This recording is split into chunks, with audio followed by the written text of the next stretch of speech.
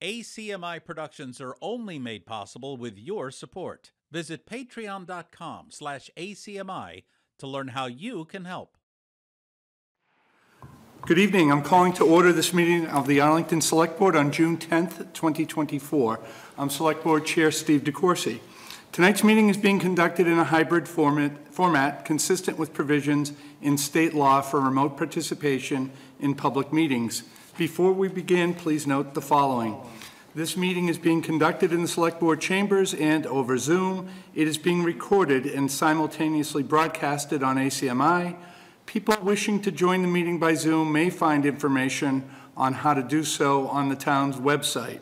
People participating, either in person or by Zoom, are reminded that you may be visible to others and that if you wish to participate, we ask you to provide your full name and place of residence in the interest of developing a record of the meeting. Both Zoom participants and persons watching on ACMI can follow the posted agenda materials found on the town's website, specifically the Select Board agendas and minutes page. If technical difficulties sever the remote connection to one or more participants and efforts to reconnect within a reasonable period of time fail, the in-person meeting will continue at the discretion of the chair, provided that a quorum of the board is physically present. Zoom participants are encouraged to retain the phone number provided in their confirmation email for a backup audio connection to the meeting. There'll be, let's see, there'll be, I believe, at least one opportunity for public participation tonight. Yeah, we will have open forum tonight, so there'll be an opportunity there for the public to participate. If you're attending by Zoom and want to participate, please raise your hand when I announce that public comment is open. We have 16 agenda items, including 26 appointments this evening, so let's see how much of the town's business we can get done tonight.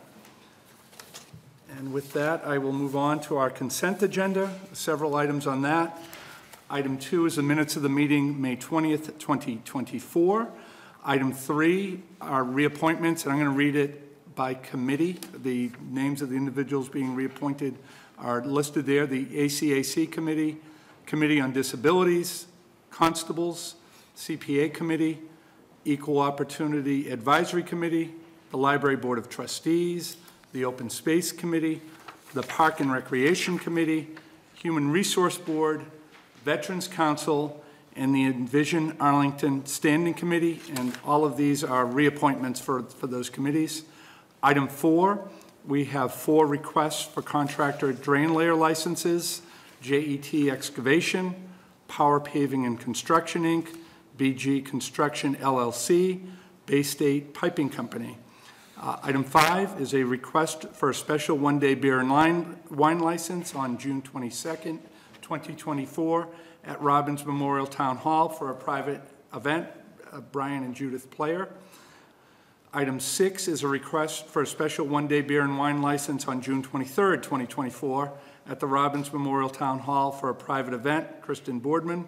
And item seven is a, request for a special one-day beer and wine license for June 29th, 2024, at the Whittemore Robbins House for a private event, Angela Elias. Um, That is the consent agenda. I'll turn to members for any motions or comments. Move approval. Second. Any other questions? Um, Uh, Mr. Diggins? Thank you, Mr. Chair. Quick comment on number five. I mean, it's a dance party for a 60th wedding anniversary. I'd just like to say, you know, I am on, totally on board with someone having a dance party, you know. They didn't mention, they didn't mention the DJ, but more power to them, that's all. Thank you, Mr. Oh, Chair. Thank you, Mr. Diggins. Okay, on a motion for approval by Mrs. Mahon, seconded by Mr. Hurd, all in favor, say aye. Aye. Okay, it is a unanimous vote. Uh, Next is item eight for approval, Housing Family Fundraiser, Saturday, June 15th, 2024, from 2 to 4 p.m. at Whittemore Park. Uh, Is the proponent here this evening? I don't know if the, Zoom. oh, on Zoom, okay, okay. Thank you, Mr. Thank Clark. you. Excuse me. If you would just unmute yourself when you're ready. Hello. Hi, yeah, if you could introduce yourself and uh, uh, just tell us about what you're re- requesting and the event that you want to run?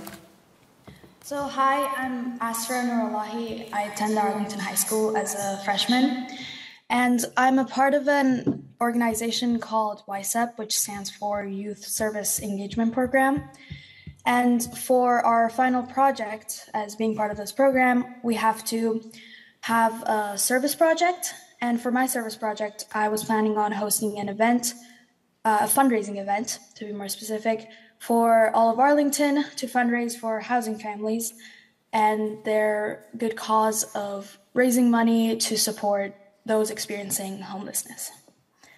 And so the event was um, the plan is to have it on this coming Sunday or Saturday, sorry, um, the 15th. And originally it was going to be in the town hall garden, but I think a few things came up there, so now that date is not available. So I was uh, hoping we could get it move, we could move the location.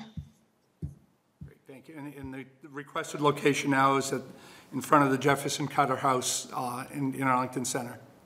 Yes. Okay, great. Okay, any uh, questions, motions, comments from board members? Uh, Mr. Hurd? I, um, sounds like a great event and a great school project. Just a couple questions, and I don't know if I missed this somewhere in the information about, but it says music. Um, what type of music are you, are you gonna have? Where will it be located on the, on the, uh, Cut House lawn? Um, so I have contacted Miss Way, which is the Arlington Performing Arts Department, um, and she has helped me organize with a couple of people to have like a small quartet playing, uh, so uh, classical music. And since it's going to be only three, four people, I don't think if it's going to be much of a problem as for the placement. Okay, that sounds good. And is it, do you envision that the event will be a few tables, people walk through, ask questions, or? I What's- think what's sort uh, of the so. We're gonna format? have.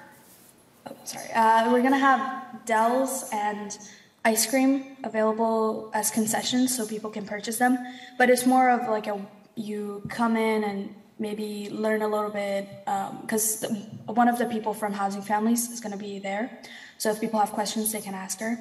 Um, and there, it's mostly gonna be like they can come and get purchase something and fundraise, help with the fundraiser and yeah, it's mostly going to be that. So it's going to be a short event, like a max two hours.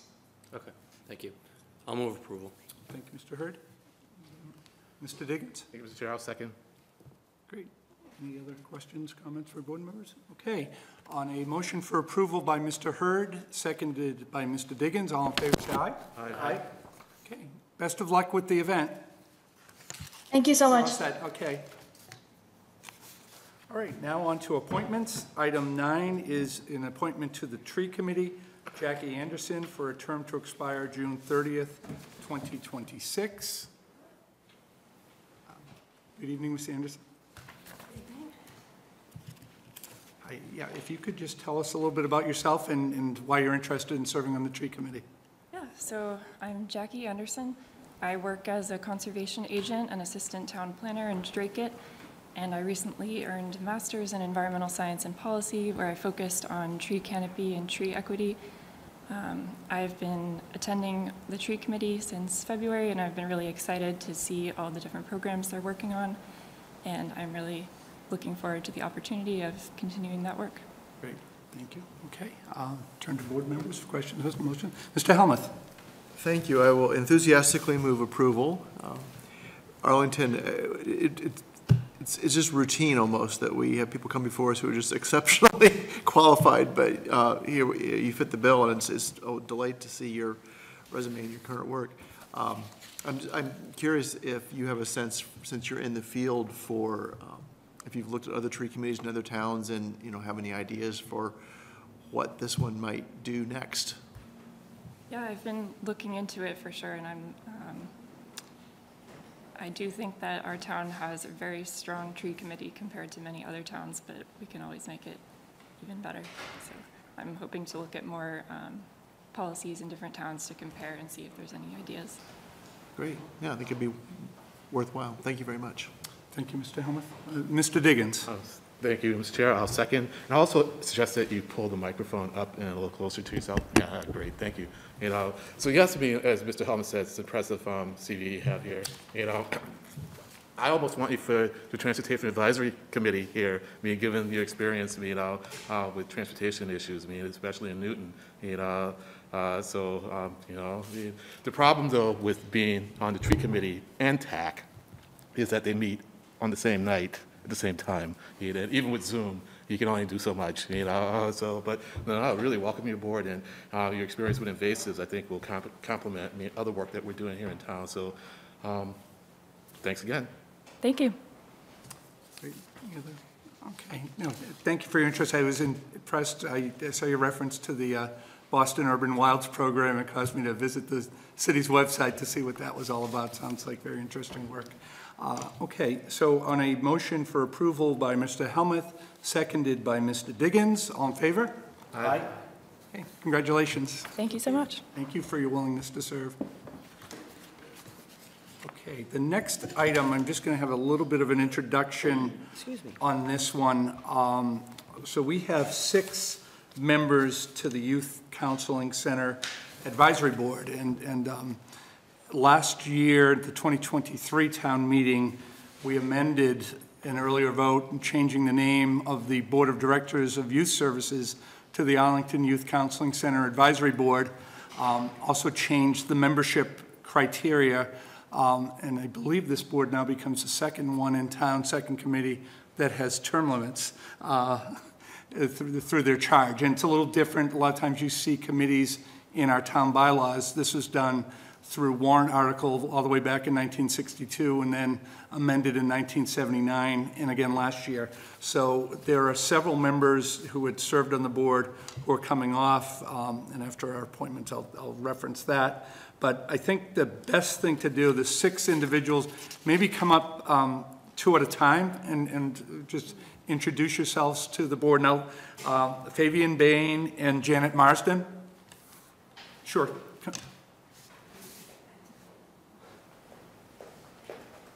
Fabian, I'll note oh, that, by Zoom? yes. Okay, perfect. Good evening. Good evening, Ms. Marsden. Yeah, why don't we start with you, and if you could just tell us a little bit about your interest in, in, in serving on the Youth Counseling Center Advisory Board?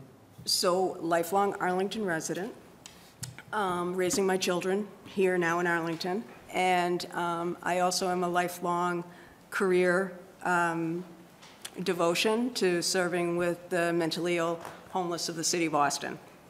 Um, I've done that for the past 36 years, um, four of which have been the director, and for 28, I was the assistant director.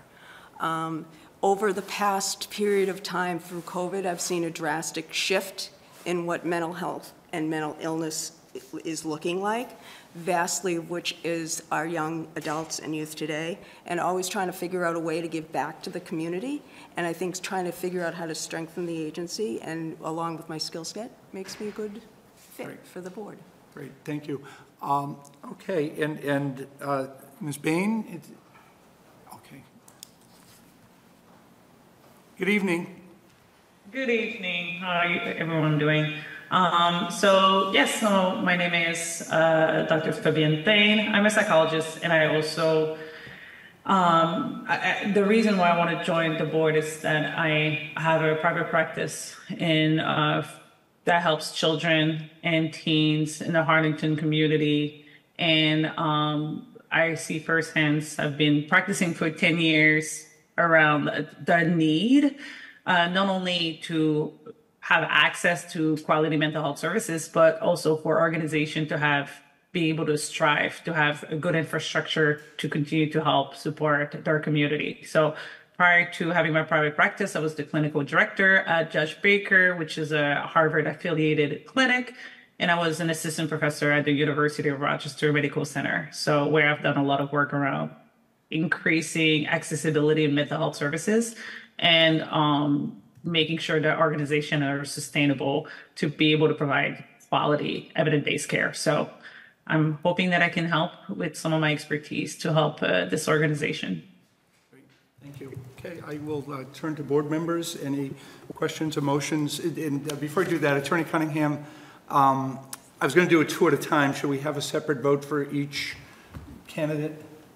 I think, um, Michael Cunningham, Town Counsel, I think that makes sense, Mr. Chair, just so that in case there are any issues with any, no, you know, appointed members, that the, the board could deal with them in turn. Okay, great. Okay, I'll now turn to board members. Mrs. Mahon? Should I start with Ms. Bain? Sure. Good to see you, Janet. Um, I'd like to move approval. Second? Great, thank you, Mr. Hurd. Okay, and that's, uh, any questions, comments? Uh, Mis- uh, Mr. Helmuth? Th- Thank you, uh, Ms. Marsden. I, uh, I know you by reputation from my day job at the State House, and I know that Metro Housing does ex- just wonderful work, and I immediately recognized your name. I think we know some people in common, but, um, and, and, um, you know, Dr. Bain, I'm, again, just blown over, blown away by your resume and, and by what, the values that it represents and the experience for, for both of you. So uh, we're just so lucky to have you both. Thank you. Okay.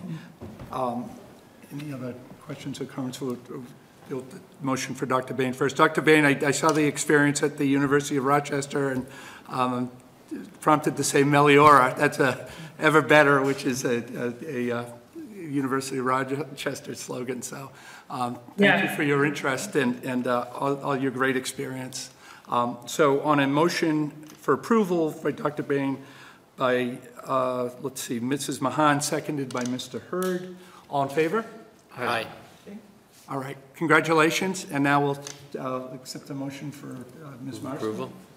Okay? second. Okay, and uh, before I do that, I want to mention Janet Wooden, probably one of the most unselfish moments ever in the history of, uh, at least my time on the select board. Ms. Marsden had put her name in a f- a couple of years ago for the Minuteman School Committee, um, saw the group and and withdrew from consideration, but had expressed an interest in another committee. So happy that you came forward and are now going to be joining, uh, looks like we'll be joining the board. So uh, thank you for your unselfishness and for your commitment to the town. Thank you. Um, Okay, so on a motion by Mr. Hurd, seconded by Mr. Helmuth. All in favor? Aye. Okay, unanimous. Congratulations to both of you and best of luck. Yeah, thank you. Okay, next, um, Naresh uh, Kachoria and Caitlin Sheedy, They will both be. both by Zoom. Okay. Good evening. Good, good evening. This is Naresh Kachoria. I'm not sure if you want me or Katie to go first. Why don't you go first? Yeah, since you appeared first on the Zoom. Sure. Uh, good evening, everyone. Thank you for the opportunity to meet with you. My name is Naresh Kachoria. I've been an Arlington resident for 20 years. Uh, my previous experience has been more than 20 years in international development, focused on uh, social emotional learning and experiential education for youth in international settings. Um, but I learned about AYCC a little while back, and you know, as I approach the final stages of my career, uh, I'm looking to see how I can bring my experience uh, working overseas with youth and families uh, to a gem that's in our own backyard here. Um, and so I've been meeting with AYCC and Stacy over the past few months and really blown away by the work and the services they provide to Arlington families uh, and hoping I can contribute a little bit to the trajectory of the organization in the coming years. Great. Thank you. Uh, Turn to, actually, why don't, yeah, why don't we do it one at a time now, since it's by Zoom? Uh, Anybody with uh, questions, comments, motions? Mrs. Mahon? I'd like to uh, move approval and ex- extend our thanks for uh, coming to this committee that we're reconstituting. Um, I'm really excited by the, the quality of candidates that we've appointed so far and that we have before us right now with Mr. Kachoria, and uh, look forward to working with you all in the future. Second. Thank you, Mrs. Mahon. Mr. Hurd with a second. Any other, uh, Mr. Diggins? Was it, do you got, did you get your second already? I got my second Okay, from all right. Mr. Hurd, yeah. We're all set then, thank you. Uh, You can third it. Okay. Uh, Yeah, and thank you, Mr. Kachoria, uh, for your interest and, and for, it sounds like your participation to date with the, uh, the Board of Youth Services as, as as newly constituted. Um, And, and uh, again, with all of the candidates here, very impressive resume, and, and we really appreciate your willingness to serve the community. So on a motion by Mrs. Mahon, seconded by Mr. Hurd, all in favor? Aye. Yes. Congratulations and, and best of luck. Thank you. Appreciate it. Take care. You too. Okay. Caitlin Sheedy. Good evening, Ms. Sheedy. Hi. Hi. Good evening. Hello. Um, I'm Caitlin Sheedy. I have been an Arlington resident for the past eight years. Um, I grew up close by in Reading, Massachusetts, and lived in Washington, D.C. for about 10 years, where um, I started my career in public health and did a lot of community based work with youth there, um, volunteering for um, a program that promoted the social and emotional well being of youth through um, running and mentoring. Um, so, since moving back to um, Massachusetts to be closer to family, I've continued working in public health, doing research and evaluation for um, the state of Massachusetts, a couple projects, and at the federal level, um, a lot of projects focused on um, maternal and child health and behavioral health. Um, and I've been looking to contribute more locally and Arlington outside of work.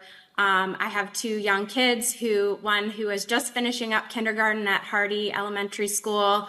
Um, so I'm pretty plugged in there and feeling um, really excited to at the opportunity to support um, Arlington Youth Counseling Center um, and feel I bring a lot of enthusiasm and um, and energy and look forward to really supporting the mission of um, helping families in Arlington thrive. So thanks for the opportunity to be here. Thank you for your willingness to serve. Uh, Mr. Hurd. Thank you, thank you for, as the chair said, your willingness to serve. And I would just mention, as we sit on this board, we see resumes all the time, and I always look for people from uh, Tufts that come Oh, through. yes. And we have a lot of Tufts grads, and, you know, I see people from time to time, but I think you're the first person that I actually graduated from at Tufts with, so. I don't know, I don't know if we ever came across each Yeah. other back in the day, but I graduated '05 in Tufts too, so it's All good to see a right. fellow classmate serving on- on a town committee, so. But ag- Cool. again, thank you I'm for your jealous. willingness to serve and move approval. Thank you, Mr. Hurd. Uh, Do we have a second? Uh, th- th- Second by Mr. Diggins. Any questions or comments? Okay. No, no Tufts school fight song or anything you want to break out into, or? If there is, I don't know it. Thank you, sorry, Mr. Chair. Uh, No, no problem. So on the uh, motion for approval by Mr. Hurd, seconded by Mr. Diggins. All in favor? Aye. Okay, unanimous vote. Congratulations and uh, best of luck. Thank you. Thank you very much. Sure. Okay, and uh, Maggie Wan- Wan and Veronica Tivnan. Good evening, everyone. Sorry I could not be there in person. Um, thank you for the opportunity to serve as a member of the advisory board for AYCC. Um, a little bit about me I've been a resident of Arlington for nearly 20 years, uh, where I have raised a family with my husband and two boys, both of whom attended Arlington Public Schools. Um, I have appreciated the growing strategic focus, uh, both at school levels and at town levels through AYCC, focusing on equity in education and promotion of SEL learning and well-being of the whole child for every child in Arlington. Um, as a parent, you know, I, I have growing concerns about um, the immense needs facing um, our children and adolescents in the Arlington community, um, just the escalating, rising mental health concerns, um, growing sense of loneliness and isolation, especially among boys. Um, and in my professional role, I've worked in the mental health space uh, for the past decade or so in various capacities um, as a trained mental health provider, addressing in, uh, these concerns, including um, in a direct service provider role in both school and community based settings, as a program developer, uh, focusing on restorative and trauma sensitive prevention based interventions in school and communities. Um, but also as an organizational strategic planner to um, increase operational effectiveness and efficiency, um, as well as putting on the hat as an evaluation manager, um, assessing impact of um, uh, organizations that I've worked with. So I'm really excited to lend um, my knowledge and passion for mental health um, and serve in this role. Thank you very much. Uh, Turn to board members. Mr. Hurd. I'll go for this one too. I may. Um, happy to move approval. I always see Maggie at the baseball field. Her son is an excellent pitcher, um, and a great kid too. But you certainly have an incredible resume here, and you're, uh, well-suited for this position, and I'm really excited that you're stepping up to serve the town as well. So happy to be able to work with you in a non-baseball related capacity. Same here, John. Approval. And compliments to your sons as well. Off the baseball field, be a less stressful environment for. Uh, Okay, so, um, do we have a second? Uh, Mr. Helmuth? I'll, I'll have a second, and I just want to call out the, the really good work that Doc Wayne Youth Services do- does. Um, Again, I happen to have some exposure to that through my, through my uh, day career, my day job, but, um, you know, great reputation, terrific program serving some of the neediest kids, and um, so delighted to have your expertise joining us here in Arlington. Thank you for the acknowledgement. Yeah, Doc Wayne is wonderful in terms of using sports as a way to access, help kids access mental health care. Thank you for that. Okay, so on a motion for approval by Mr. Hurd, seconded by Mr. Helmuth, uh, all in favor? Aye. Great, congratulations, and, and thank you for your willingness to serve. Excuse me. And Veronica Tivnan. Good evening, Ms. Tivnan. Hi, good evening. Thank you for having me. Uh, my name is Veronica Tivnan. Um, a little about myself. I am fortunate enough to have grown up in Arlington, uh, my whole life there, and my whole, most of my professional career working for Arlington Public Schools, the last 15 years as the Dean of Students at Arlington High School. And so I was thrilled when somebody approached me recently and said, you know, that the AYCC board doesn't have anybody from the public schools on their, their board right now, and we really could use a lens from that, from the school setting and, and what's going on there. Um, AYCC, I, I don't know if people in Arlington are aware of how lucky you are to have this organization. They serve our families and our students and do so much. We, as the public schools, lean on them all the time, and they're always there to help and to support and, and lend a helping hand. Um, so I was thrilled at the opportunity to be able to maybe give back a little bit of my expertise of working with the students at Arlington High and um, giving some time to AYCC. And you can see from the people who have gone before me, I am honored to be able to work with, with this talented, amazing group of, of people and learn from them as well. So thank you for having me here tonight. I'm, I'm flattered to be here. Thank you. Uh, Mr. Diggins. Thank you, Mr. Chair. I mean, I'd like to motion, make a motion to approve. And, and I'll just add that I haven't said much or anything about any of the um, um, people that we appointed, you know, and, and that's because the, the, um, the CVs have just been really, really impressive. I mean, I read them all, mean, um, thoroughly. Normally, I have something to say, usually about the appointees, but this, this time, I didn't just because I didn't know where to start and stop, you know, um, and we had a lot to go through, but, but you really are an impressive bunch, and we are very fortunate and to have me, all of you in town here working for this committee that is really worth the effort. Thank you. Thank you, Mr. Diggins. Mrs. Mahon? I'll second it and also add my thanks to Ms. Tivnan for your day job and now your volunteer job. And I think it, it's essential and vital that we do have um, a well-rounded group and the expertise you bring working day to day with Arlington's students and sometimes those who find themselves at risk. Your familiarity with um, sort of the makeup structure organizationally in terms of what Arlington does have available. Um, through this committee and/or um, other committees that I know you interface with and are aware of. Sometimes that's the first uh, 25% of the battle is actually knowing where to go, where's the appropriate place to go for each individual with their specialized needs. So um, I definitely appreciate you bringing that um, to the group, and I really look forward to see what um, all you newbies are going to take on and, and do. But I know you do well, and I think a sign of you all doing your job really well is it's, it's not something we'll necessarily hear about in the public, and um, we'll hear it anecdotally, which, which is how it should be. So thank you. Thank you, Mrs. Mahon. Um, Yeah, and I'd also like to add, Mr. Tivnan, thank you for your work in the Arlington Public Schools and, and uh, for your willingness to serve here. I do think it's important to have a member of the public schools on the Youth Counseling Center Advisory Board because there's a lot of interaction between the agency and the public schools. So thank you uh, for doing that. Um, So on a motion uh, for approval by Mr. Diggins, seconded by Mrs. Mahon, all in favor, say aye. Aye. Great, congratulations, and thank you again. Uh, Thank you. And before I move on, I'd be remiss if, you'll, you'll know why in a second.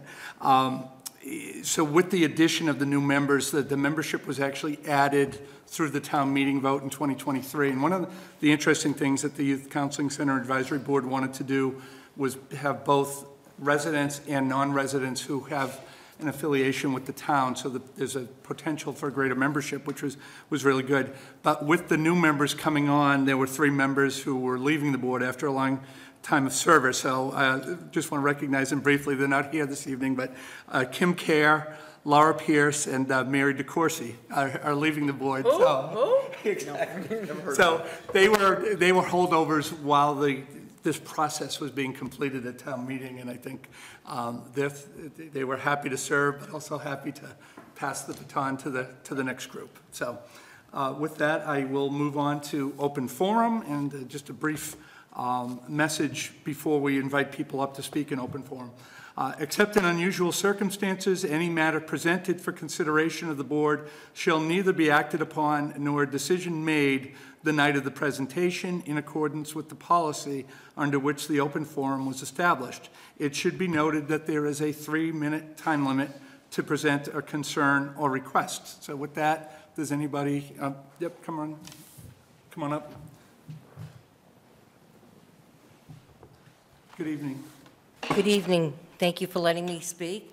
My name is Pamela Hauser, and I've been a lifelong resident of this town, namely 72 years, born and raised. I'm here to discuss the, the problem we have with the brick sidewalks from Mystic Street to Water Street and Pleasant Street up to Academy Street. They're a hazard, they're ugly, they're uneven, There's- I've seen people trip, and if you notice, I am one of those people. I was walking home, and I- instead of walking with my head down, which I usually do, I was aware of children, teenagers on bikes going up and down Mass Avenue on the sidewalk. So needless to say, I thought they were going to hit me, but they didn't. But it is a hazard. I was under the assumption that these sidewalks were to be replaced approximately four years ago, and they have not been done. The main part of the center looks fantastic. It's just that these are uneven. I have pictures to show you, if you would like. And I also have collected signatures. I live at Winslow Towers at the moment, and I have signatures from Winslow Towers. And also Cusack is um, getting me signatures, and also Chestnut Manor. It is horrible. I know most of you probably get in your cars and drive where you want to go. That's not possible for a lot of seniors. I do not own a car, because when I moved into Winslow, there was no place to park my car. And I'm sorry for the town of Arlington, but I refuse to pay them to park in their parking lot overnight. Hmm. That's, it was at the time I moved in there, it was $365, which I do not have. I live on Social Security. And it's very difficult. But I would like the board, the select board, excuse me, I was going to say Board of Selectmen, which I am more used to calling it, the select board to consider, please, dig up these brick sidewalks and put in concrete. They're a lot safer and a lot easier. They're loose right now, and with all the rain we're getting, they're going to get looser. So please, if the money were for replacing them was put in escrow, please take that money out of escrow and use it to replace these sidewalks. They're a hazard to the town, at the residents, especially the elderly and the handicapped. So I would like you all to take that under consideration, and thank you very much. Thank thank you. If you have copies here, if you want to leave them with Ms. Mara, or we can I'll- arrange, I'll leave we can. with you. um, yeah, I have copies at Attach them to home. our records. Great, thank you. By the way, just to let you know, when I went to my orthopedic doctor, he wants to do surgery to fuse my bones, which I refuse to have done. And this is all because of tripping on the brick. Oh. Tripping. And right now, I'm taking cortisone shots for the pain. I will be walking with a limp the rest of my life, which Sorry is to hear that. bothering me, and I use a walker when I go distances. Thank you. Thank you. Uh, Is there anybody else in the chambers for open forum? Uh, Come on up.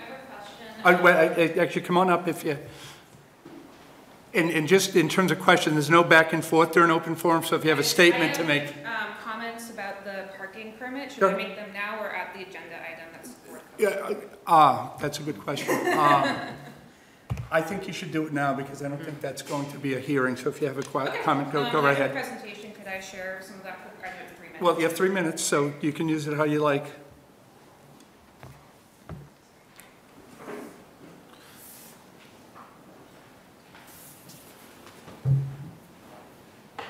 Um, so hi, my name is Julie Doughton, um, and And I'm Michael Lynch. We're both residents at 150 Webster Street here in Arlington. Been residents for about three years now.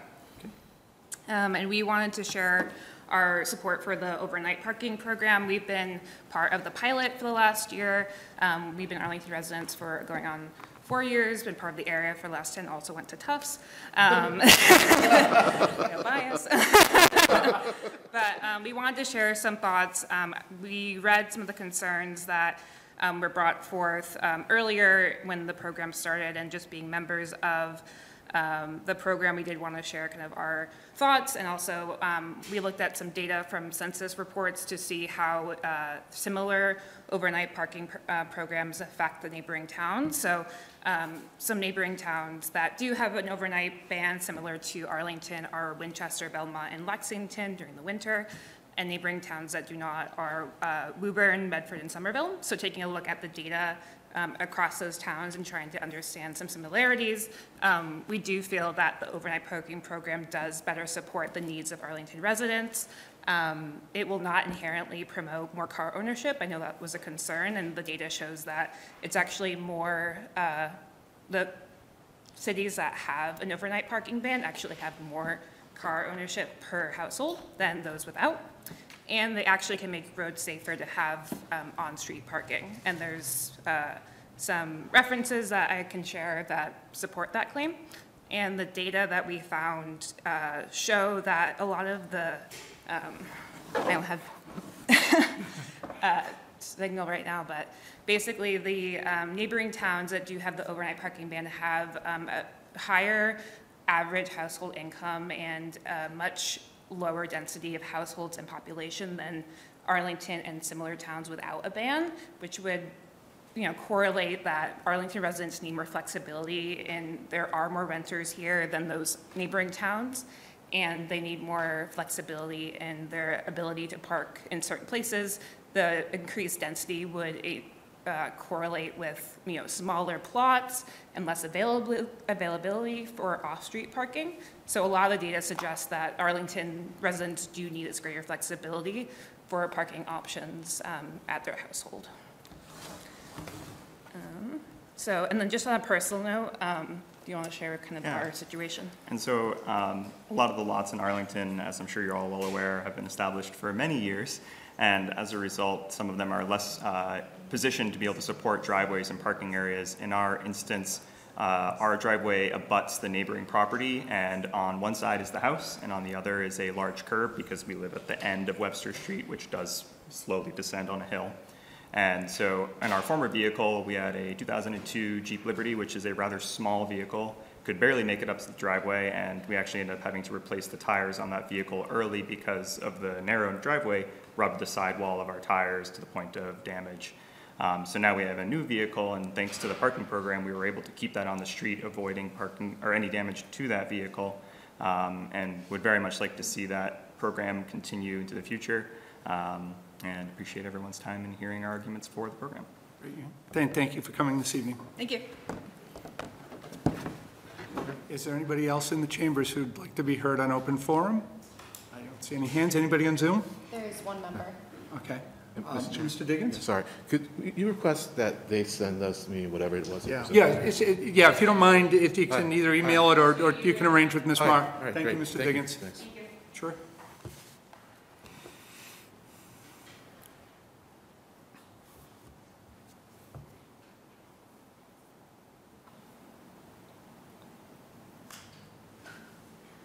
Good evening. Hello, uh, my, uh, hi, my name is Andrew Steinhaus. Uh, you just uh, spoke to my tenants, uh, Mike and Julie, who are the, I got to tell you, They are the greatest tenants in the in the world. um, and I just want to verify everything that they said. We have it's literally right outside that window, a very, very, very narrow driveway. Uh, my wife and I also, with our cars, have had to replace the left-hand side tires because it uh, rub to get up the driveway. They rub up against uh, the uh, stones that uh, are basically the the pathway between us and and and our neighbors that we abut with. Um, and just jockeying the cars in and off the driveway has just been a little bit dangerous, a little bit concerning, and absolutely inconvenient.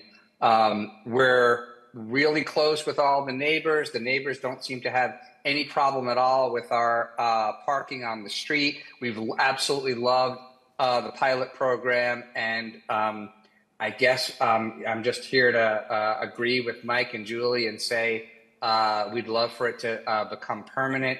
Happy to pay uh, what looks like a dollar a night um, or even a little bit more to continue um, for the right to park on the street. Thank you.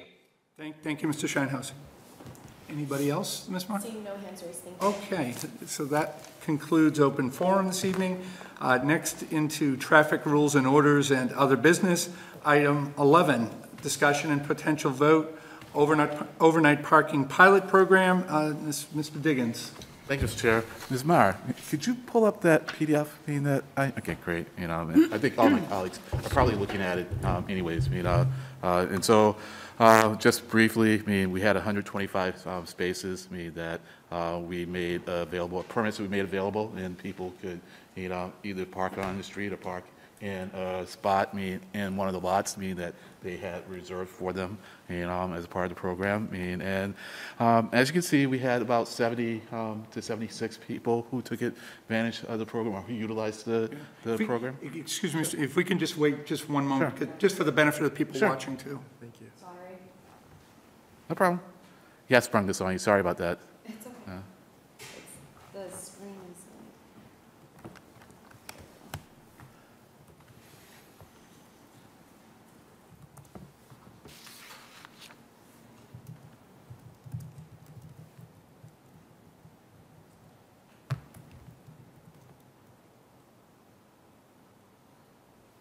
Numbers see that, kind of.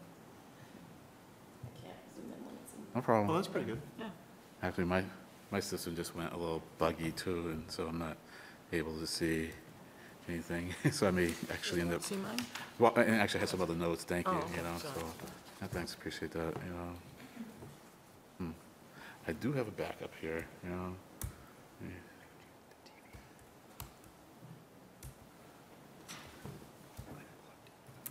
Mr. Diggins, while you're looking for that, I just want to provide just a little bit of background, I'll go back. So this, the overnight parking pilot program, last June, June 26th, 2023, we approved a five-month pilot for temporary expanded on-street overnight parking. That ran until December 31, 2023.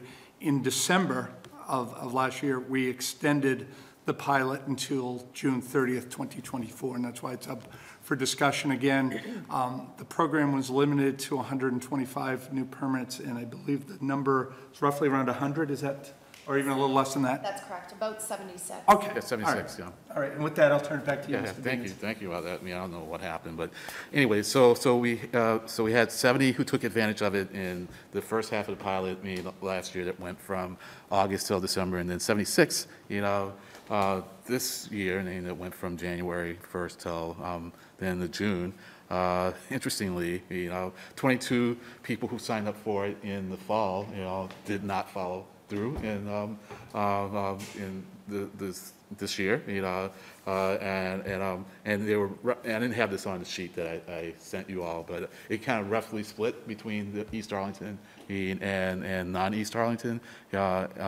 Uh, uh, and, but um, overall, in both halves, you know, or both halves of the pilot, the utilization uh, between east and non-east was about the same. Mean, um, 54 to 46 percent for east mean, versus rest in the first half.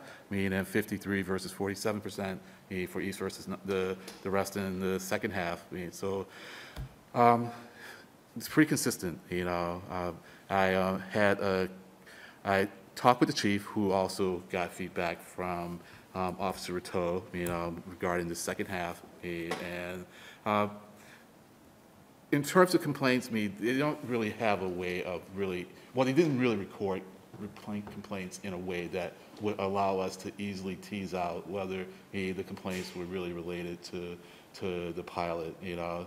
Uh, as far as um, Officer Herrera could tell, the complaints seem to be coming from the same streets, you know, that we've been seeing, you know, even before the pilot. So he didn't notice any significant uptick, I in other parts in, uh, of the town. You know, he apparently talked with the clerk. That's what the mail said. I mean, although we're a little uh, confused because we're thinking it might be the register, you know, but essentially there were uh, three to five complaints, mean, a week, mean, of people getting ticketed eh, who had the permit.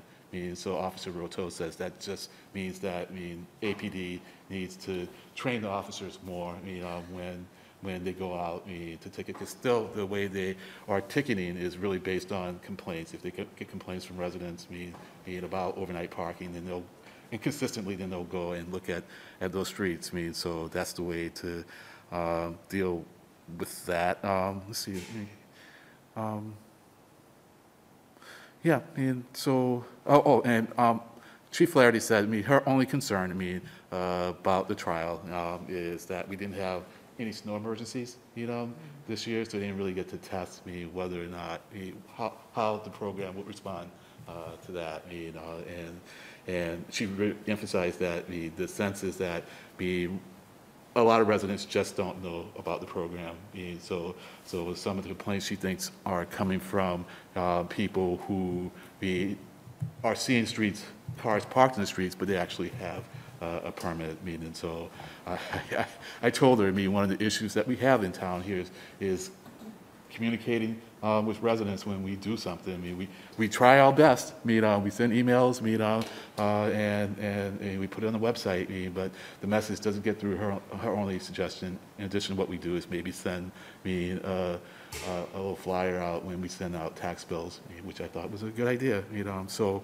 my um, recommendation uh, would be that we extend the trial for at least another 12 months or make it permanent, you know. Um, and as permanent as anything is. I mean, it's like, I mean, we do something and if something happens, then we, we make adjustments. I mean, and so, so, but I, I would like to, for us to consider something a little more permanent because one of my thoughts is that maybe some people aren't taking up the program because we, they aren't sure if it's going to last. Mean, I know of one person who, who pays for a spot who says that eh, she will not give up that spot as long as she thinks there's some chance that the program will go away, you know, and so, so there's that. Uh, the other um, suggestion is that we have 125 permits up now. We can maybe increase that to 150. I mean, now, given the utilization is still at 76 maximum so far, I mean, you could say we don't need those extras, perhaps we don't, you know, but I think it might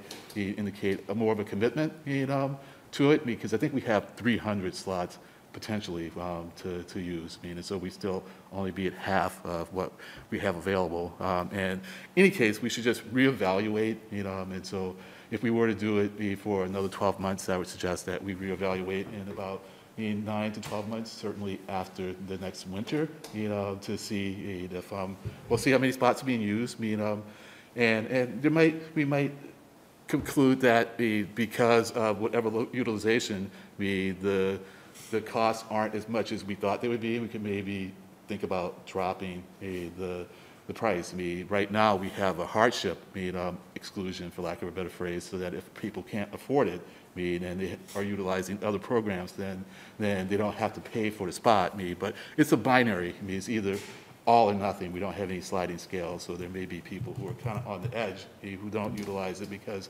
because three hundred thirty dollars, I mean, a month, mean, is, is make a break for them. So, so just think, think we can think about that, and um, and and um, also my suggestion, and I think we'll be doing this anyways, is to have a larger, more comprehensive review and evaluation of parking in general. Uh, um, and so, So I know the ARB really wants to meet with us to talk about elements of parking, but I think there are other elements of parking that we could, could discuss, I mean, but, but certainly let's have a conversation with um, ARB because I think parking and, and car utilization does have uh, impact mean, on, on housing. And one of my big, um, um, a strong feeling I have is that if we can make it mean easier for people to not have to use a car, you know, then that mean gives them more to spend. I mean, they can afford afford more housing, you know, and so so I think there are ways that our parking policies can be adjusted that might allow us to do some more creative things um, around parking that would perhaps reduce the need for people to own cars. But that's for another time. But hopefully, the other time won't be too far from now. And and and finally, you know we have a potential vote now. Uh, we can go ahead and vote, you know. But I would also mean like to have maybe another little check-in forum um, with residents, you know, uh, and and and either uh, we could say we pull the trigger, but we're still following up with folks, mean, or we could wait until uh, our meeting two weeks from now uh, and pull the trigger. But if my colleagues were amenable, mean to holding a forum, and I volunteer to do that because I like I like doing it. You know, I would probably go for it on on the, on the 20th. You know, uh, 10 days from now on a Thursday. Uh, so, so that's it. Okay, thank, thank thank you, Mr. Diggins. So you've made a recommendation, do you want to make a motion? Would you rather have discussion first before we get Oh, to a motion? discussion first. Yeah, Okay, yeah. all right, Uh, Mr. Hurd. Thank you. Um, yeah, I mean, I think the parking pilot has been a success. Hopefully, we can wrap this up in less than 18 meetings to figure out the next, the next branch of this. But, I mean, I, I would be on board having, I don't know if I'm far away from my microphone, ha- having, um, another 12 months to look at it. I think everyone that's participated has really enjoyed it. I was part of it. Um, I have a neighbor who has an overnight parking permit and they have a, you know, one of those small driveways that go under the house and that most of their garage is filled with stuff. So, um, it's been really beneficial to them.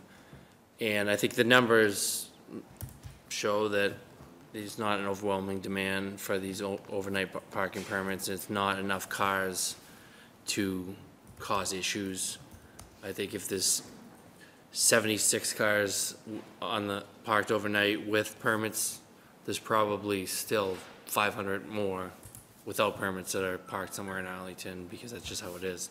Um, so I, I think, I'd be, I mean, I think upping it to one fifty is fine, just in case that some demand materializes for it, and, I mean, I think the fee is good as is, because I think it sets it in a, I don't wanna be overly onerous to residents, but we also don't want it, the, the, the next phase of this to fail because we waive the fee and all of a sudden, you know, two thousand people come and get permits. I think having a reasonable fee that accounts for the enforcement costs helps to kind of weed out people that don't really need it, because we didn't really create this for people that, you know, just don't want to walk around to their driveway. We created this for people that had a need, like we've heard. And I think for the people, for the residents that have been able to avail themselves of the pilot, in many instances, it really, really, really makes life easier, and that's why they do it. So, again, I'm happy to s- make a motion if these are the parameters that we want to go for to extend the pilot out a hu- twelve months, increase the number of permits to hundred fifty, and leave all other aspects the same. Correct? Yeah. Thank, thank, thank you, Mr. Hurd. Uh, Mr. Helmuth? I'll second that motion. Um, I think that it's, it's worth doing this another year uh, for a number of reasons Mr. Hurd cited, and, you know, also I think we really need to see what happens. I'm not exactly wishing for a hard winter, but, um, but- for more snow so that we can see how that part of the program works and also see, you know, if there's any issues with, with, you know, particularly with compliance and, and the snow emergencies and, and how that, that part of it works is really important. Uh, I also, I think the, the price is good. It's, it's, uh, one of the reasons I signed onto the program was that the price is high enough that it's an, it's a disincentive to do this frivolously. Um, And I think the hardship exemption takes care of cases where that, you know, where, where it needs to. Um, I, I don't know that I need to do this this month, but for myself, before I'd be prepared to vote to make this permanent at a later date, I would really like to have a public hearing and a public forum, and one that's well advertised. You know, I, I, I- realize that that will result probably in a similar discussion to the public forums that we had before. Uh, but I think if we lay out the questions carefully and thoughtfully, to say, you know, this is what we've done, and, and, you know, could you try to focus, um, I, I would pay more attention to comments uh, based on, that are very specific to the impact, positive or negative, of the pilot program. Um, And I, you know, I'm sympathetic to Mr. Diggins uh, and the, and APD's point that it is difficult to know you have a complaint, you know, what, if this, is this a legally, maybe they're complaining about a legally parked permitted vehicle or not.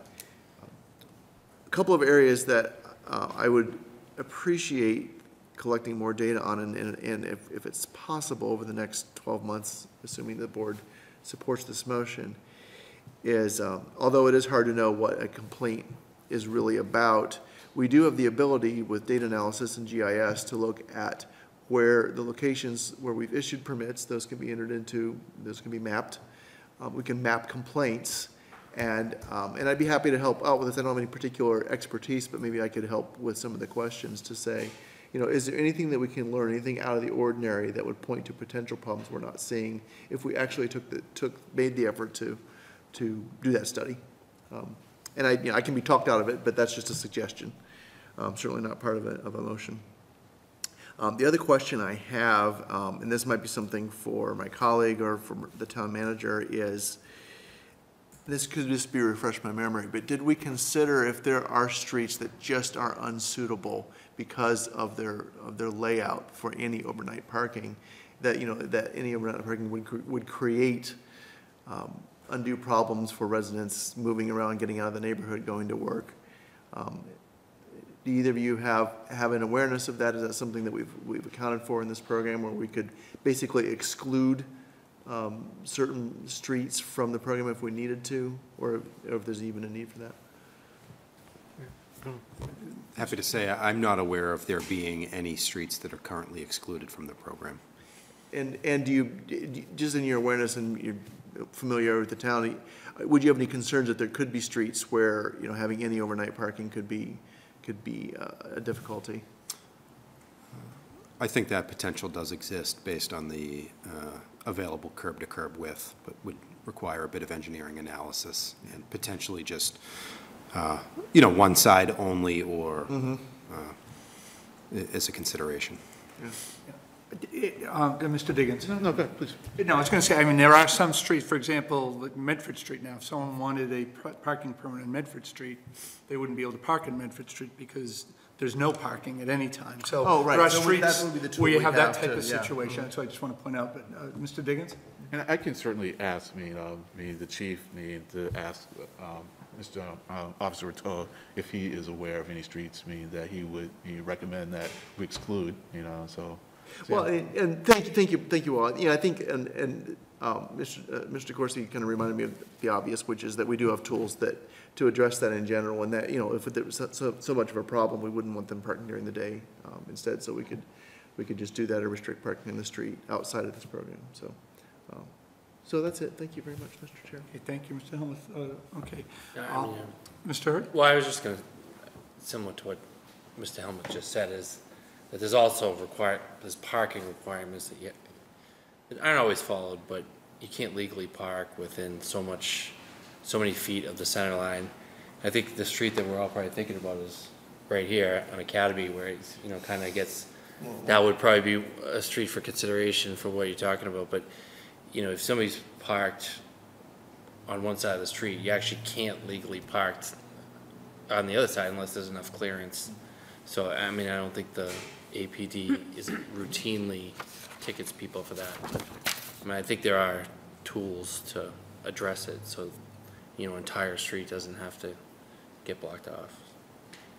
Thank you, Mr. Hurd. I just have a couple of comments, and, and I was one of the initial proponents with, with Mr. Diggins, and I, I support a 12-month extension. We had done five months, then we did six months, and, and now it seems uh, like a good idea to extend it. I'm not quite ready to call it permanent because I do think there are, are some issues that need to be resolved. Some of the things that I've heard, just questions about you know, whether a commercial vehicle could be one of the, the vehicles that receives the overnight parking sticker, and that, that question came up. There are some issues on certain streets um, that I, I, I think you, you look at on a case-by-case basis, but, um, and just to be clear, when we extended this last time, I believe it was $150 for the period between January 1 and June 30th, so it'd be $150 per each six-month period, is that if we go through the next year, or, or is that, uh, Ms. Mara, is that, That's correct. We have been doing a dollar a night. It just so happened that 150 was from the one to the. okay, all right, so dollar day, all right. Or a dollar. Fair enough, so, we- okay, all right, so a little bit more, okay, Yeah, so- all right. Um, So with that, and I, I would support that, I would support having a forum, I think we might need one later with more publicity for it, and maybe hear from more people. I, I don't think it's necessary, in my view anyway, to do it this month, I think maybe later in the year, as, as we go through the program, one, but also maybe make the public more aware that we're looking for more feedback. And I appreciate everybody in the community who's reached out. We had two people here this evening who have benefited from the program. I've heard from people who've benefited from it. I've heard from some people of concerns just on, on parking on their streets. And, and I encourage people to still get in touch with us, comments either way, because it helps us form the policy. So uh, unless there's any further, uh, Mr. Diggins? Well, I'm, I'm fine with not doing a forum, especially if we're not going to make it permanent now. I mean, I would like to see, I mean, as Mr. Helmuth kind of hinted at, I mean, that we have it a little more, a little more structured with respect to topics, I mean, and I'd like to see us maybe broaden out, you know, the, the discussion, you know, because like I said, there's lots of aspects of parking that we can discuss, I and it could fit in, with, I um, ARB and and maybe some other things that we have in mind for the town, so, so, yeah, uh, so, uh, if no one seconded, I'll second I- Yeah, I had, no, I had a second for Mr. Helmuth. So let me, let me just review where we are with the motion. Is a motion by Mr. Hurd to extend the pilot program for 12 months, to increase the number of permits to 150, and all other aspects of the program remain the same. In, in- in the fee being a dollar a day. A dollar a day, yeah. And that was seconded by Mr. Helmuth. Unless there's any further discussion, I think we're ready for a vote. Uh, All in favor, say aye. Aye. All right, so it's been extended. If I could ask Ms. Marr to maybe contact the individuals who already have permits, just to get ahead of it that way on, on the extension period. Thank you. Right. Uh, Item 12, request for an additional on-street overnight parking waiver, Jim Ballin, 30 Swan Place. Good evening. Good evening. Thank you. Uh, My name is Jim Ballin, 30 Swan Place. Um, I actually last was here before you all in 11 years ago to talk about parking. Um, I believe Mrs. Mahon was the only one here at that time. Um, But for the rest of you, I wanted to just give you a very brief summary of what the issue is on our particular street. Um, So I've lived with my wife, and we've grown, uh, raised three children um, at our house, we've got 30 years next year. Um, House was built in 1900, obviously before zoning, before there were even cars. Uh, We have no off-street parking. There is no there is no way to put in off-street parking. Um, We also have, so there, I, I understand there are around a dozen or so streets in Arlington that have these unique situations where there is not enough off-street parking, and the board has issued waivers um, for various properties on those streets. Swan Place is obviously one of those. Um, We have one more unique problem, which I really want to raise to your attention now, which is we have a four-hour limited daytime parking. So, and I think this is important because we're not, I'm not talking about the overnight parking pilot program you were just talking about, because that doesn't really help us. We have uh, four-hour daytime restrictions. Um, My wife and I both bike or take public transit to work, as does my kids, my adult kids who live there. Um, So we leave the car there during the day. Um, I don't want to have to drive my car just because uh, I can't park it legally on the street, and I have no other option. Um, So just briefly, so I had this one permit in 2013 when this program started. Um, I only had one car at the time. I don't know if I requested more than one, but I only had one car, so probably just one. Um, In 2019, so I said some of my kids, adult kids, moved back in with a car. Um, I requested a second permit that year. Now, this is where it gets a little murky because uh, I believe I worked with Marie Krepelka on that issue. Um, And she, my recollection is she said if the police and fire department are okay with it, um, she could work to get the approval done. She took care of that. Um, The approval was done. I believe I paid the initial 160 fee for that second permit, um, and I had the permit, the two permits for that year, 2019. Um, The next three years, 2020, 21, 22, I had two permits, paid for each permit at the renewal fee of $75. Um, This year, when I went to renew the two permits, uh, I was told that um, there was no record that the select board had approved two permits for our property. Again, I don't really know how that happened. Um, I believe Ms. Krepelka took care of that in some way. I don't know if she ever got the board's approval. I don't, I personally did not appear before you in 2019, so I don't know. So I just, so that's my request. My request is for a second permit. Um, I would like to be approved ideally at the renewal rate of $75 because this is the fourth year I'm requesting this permit. Um, And I believe I did pay the initial fee. I just very quickly wanted to run down a couple of things I included with your packet. Um, So you have uh, emails from fire and uh, police departments saying they have no objections to us having a second permit. We don't have, we live at the very end of Swan Place. There's no parking issues there. There's plenty of parking um, during the day for anybody who wants it, really. Um, There is something I got from the town. Uh, I don't think this made it into your packet. I can provide a copy if you want it, but it's basically on-street overnight parking requests from 2008 to present. Uh, Present seems to go up to 2019. There's no date on this, but I I assume that's the time period. Um, Of the 55 or so requests, um, the board approved about half of them. Um, Every request for Swan Place, and there were seven of them during that time period, uh, was approved. Um, And specifically, the comments note the exemption includes daytime residential time parking. It's the only street in Arlington that I have seen that approval for. Um, In some cases, um, some of my neighbors were approved for two cars because they requested two cars. Um, I hadn't at the time. And the other thing I included with your packet, and again, this is really just background information, but I got the permits from 2018 to 2000, and I guess to this year, um, just to show that in the vast majority of cases, or at least close to half, I think, um, many households have received more than one permit. Two permits typically. Uh, I have no interest in requesting two, more than two permits, um, regardless of how many of my kids move back home. Um, But I um, wanted to point out again that uh, these, so my permits are on this paperwork if you want to see them, 2019, 20, 21 and 22. um, We have two permits. Uh, He didn't actually get one last year because my son, who is the main driver of that car, was away, so that's the only reason I didn't get one last year, or a second one last year.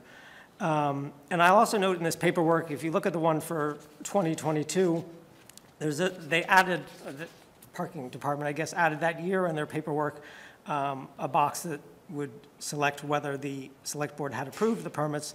And for my permits, it does have the box checked that you approved permits for two cars in 2022. So um, that's pretty much my request. Again, I want to just make it clear, the overnight pilot program is um, great, but that isn't going to help in our situation because of the daytime parking restrictions. And there is, you know, no way for me to get home, I work in Boston, to get home in the middle of the day to move the car every four hours. So I would greatly appreciate your approval for a second permit. Um, And again, at the renewal fee would be my request. Thank you. Okay, thank you, Mr. Bellin. Um, I don't know, if- Mr. Feeney, I don't know if there's, I don't, probably nothing that's, this is just directly to us. Uh, And I'll turn to the board now. Uh, Mr. Hurd?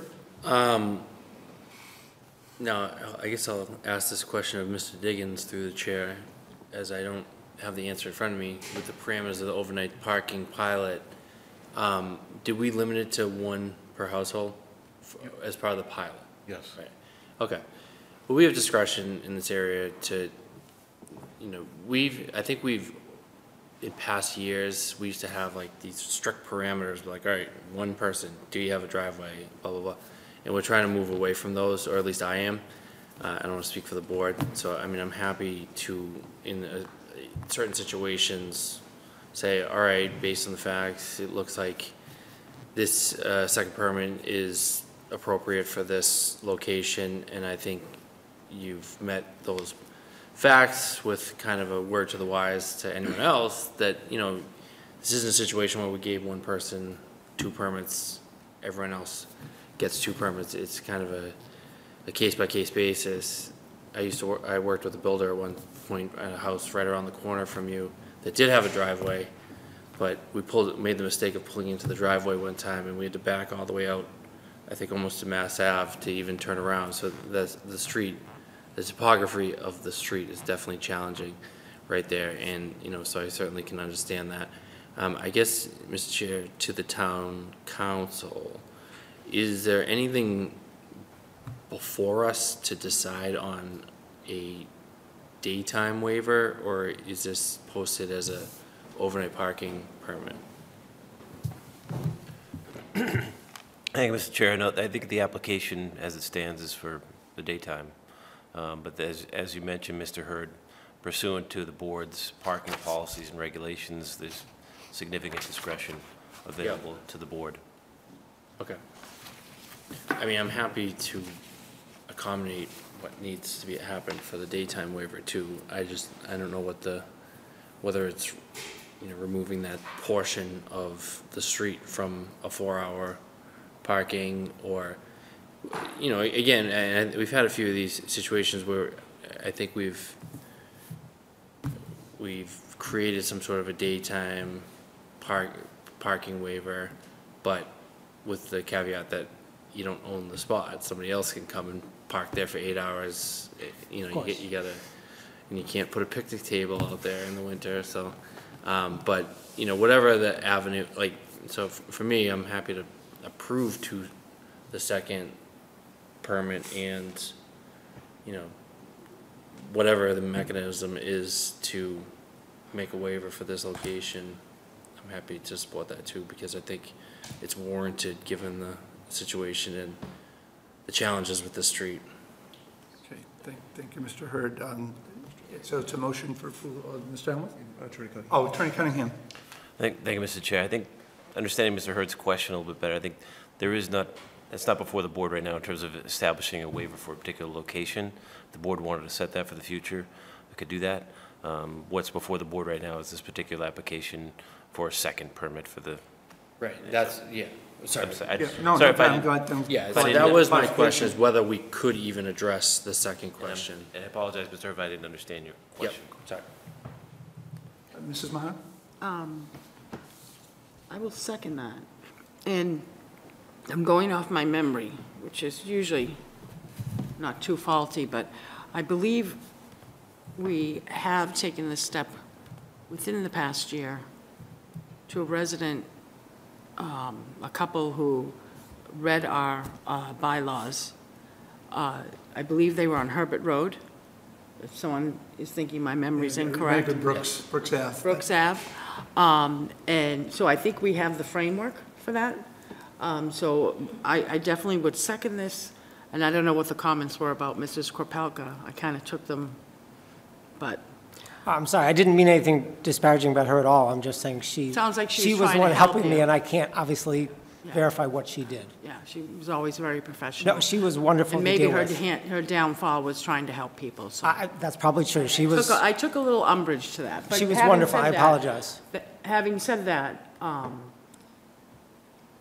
sorry, I can hear her in my head. And I can't call her on the way home. Uh, I'll second it, and I- I, I would just say if it could comport with, uh, similar to what we did for, you think it's Brooks Ave, not Herbert Road, right? Um, the- But, but it, it- it could be, I remember a discussion about, Right. concern about daytime parking. Just, just so we have some continuity, but then also, as Mr. um, Hurd and uh, Attorney Cunningham have suggested, as we move forward, make sure we really codify and/or solidify, so we do have a process and we do. True to Mr. form. So, Thank you. and just, and Attorney Cunningham can correct me if I'm wrong, I think what Attorney Cunningham's saying is that my motion would be to approve a second parking space, and just for the, pro- you'll have to come back on another meeting to request the waiver for, because it wasn't noticed for a waiver for daytime parking. So you'll just have to work with Ms. Mar to come on a second agenda for the waiver for daytime parking. So my motion is to approve a second overnight parking pass. Can I just ask one additional question? My request to the board initially was for a second permit, which was for both overnight and daytime parking. So I don't know what, Well, yeah, just to clarify, Mr. Bellin, the way it went on the agenda is a request for an additional on-street overnight parking waiver, so that's, we're limited by what we put on the agenda this evening in terms of that vote. Um, Okay. Uh, Any other questions from uh, Mr. Diggins? Well, actually, I was pointing to pointing to Okay, Mr. uh, Mr. Helmuth, Helmuth, And then, okay. and then you can come back to me. Sure. Thank you. Uh, Happy to support this. I just wanted to further note that uh, since uh, Officer Roteau's uh, notice of no objection was, was mentioned, that his, he actually specifically re- re- referred to no objection to the issuance of a second overnight permit. Um, And, you know, I'm happy to consider the waiver of a daytime, but I want to make sure that we understand, and maybe, maybe maybe we could request to the town manager or to town counsel, that we understand the reasons for the daytime parking, parking uh, prohibition on the street, and can make an informed decision about, about any kind of explicit waiver of that. Um, Sympathetic as I am to, to the applicant's personal situation, of course, we want to help as much as we can, but we also want to make sure that we have our eyes open about the, the reason for those conditions and what we would actually be, be doing. Thank thank you, Mr. Helmuth. Um, And, and just before I turn to you, Mr. Diggins, it's coming back to me on Brooks Ave. What we gave an overnight parking permit in that location, because it's near Alewife, there was a, I think, a four-hour restriction. And so the, I believe there were tenants at that location. They both worked at home, and they were told, you can park overnight. One of the concerns they had is, when they parked in the driveway, working with their landlord, the space would be filled before they could pull the car out. And they were told, that you may have to move the car during the day because of the four-hour situation, but you have the overnight parking permit. So that was the, the history that, uh, those, that was a couple that was actually on Google, Maps uh, for that location. They went in front of the- their house when the car went down the street. Uh, Mr. Diggins? And, and thank you, Mr. Chair. So this is all part of, I think, having a larger discussion about parking, you know, uh 'cause because, we, we, he's wanting a daytime parking permit, I mean, which we, he will pay for, you know, and so I imagine it'll be, I, my understanding is that you're paying for both now anyways, I mean, and so, so, I mean, I, I certainly would also like to explore, I mean, how we price that, and I know I'm going a little bit off the uh, agenda, you know, but, but I think we kind of maybe need to bring, me daytime and nighttime, me a little more into equilibrium, or maybe even, mean, something different, Me because, I mean, there's the tension between, me wanting to allow more parking in order to, I mean, one advantage is you can allow more housing, you know, uh, uh, but at the same time, we, we, we definitely don't want to make it hard to get um, through on the streets, you know, so there's that, that safety element to it. So those, to me, those are the two tensions, and I'm gonna stop talking because I feel as if I'm going outside of the scope of the agenda item, you know?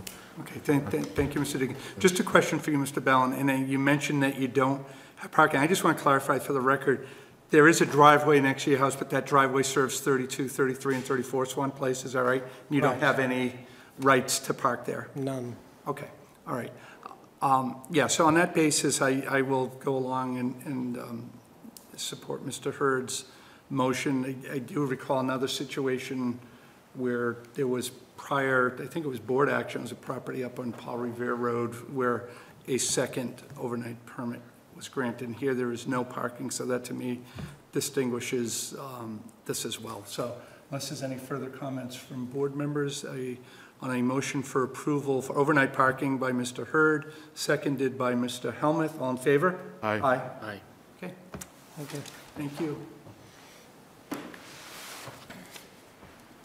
Okay, next, item 13, for discussion and approval, permission to remove invasive species from town properties. David Morgan, environmental planner and conservation agent. I don't know if Mr. Morgan is with us this evening, but I think Ms. Crowder's here to uh, make a presentation. Jean's here too. There's three of us. There are three of us, I don't know whether. Okay, go, go right ahead. If, if- yeah, Can we drag a chair? sure, go, go ahead. If there's three of you, if, if, come on up.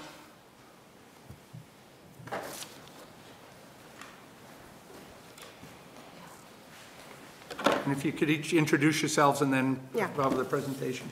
Elaine Crowder, uh, and the founder of the Arlington Mass Invasives Army uh, at 2 Glenbrook Lane. Uh, I'm Karen Blum. I'm, uh, live at 16 Perth Road and have been involved with Army recently. I'm also in Army, Jean Wildman, and I live on Kilside Road. Thank you. So um, we- we are coming to you because, um, actually, I should get up. Oh, no, no, oh, okay, yeah, yeah. Props. Yeah, here we I go. brought- I brought some show and tell. Um, So I don't know whether you've seen this, uh, this sign around town. David Morgan uh, created a, um, uh, an invasives awareness campaign a couple of years ago. High school students um, piloted it, and this is the sign that he, that he created, which is designed to be an eye-catching kind of thing. The idea of the, of the um, initiative is to paint some invasive plants pink, um, leave that, put a sign there, uh, just to kind of create curiosity, and then um, uh, leave it for a while, and then remove the invasives and, and remove this particular sign. Um, It's possible as part of moving this into neighborhoods that we might put an additional sign at the end, just to kind of remind people, hey, this is what it looked like before, now this is what you see. Um, So that's, uh, so we had interest in a particular location, and I'll let, um, I'll let Karen explain what that interest is, um, and it turns out that that location is a uh, select board property. So our, our request is um, to be able to um, do some removal of invasive species on, uh, it's the corner of Rubley, Lancaster, and Hibbert. It's a little D-shaped naturalized area. Um, And it's a nice little spot, and I'll let Karen talk.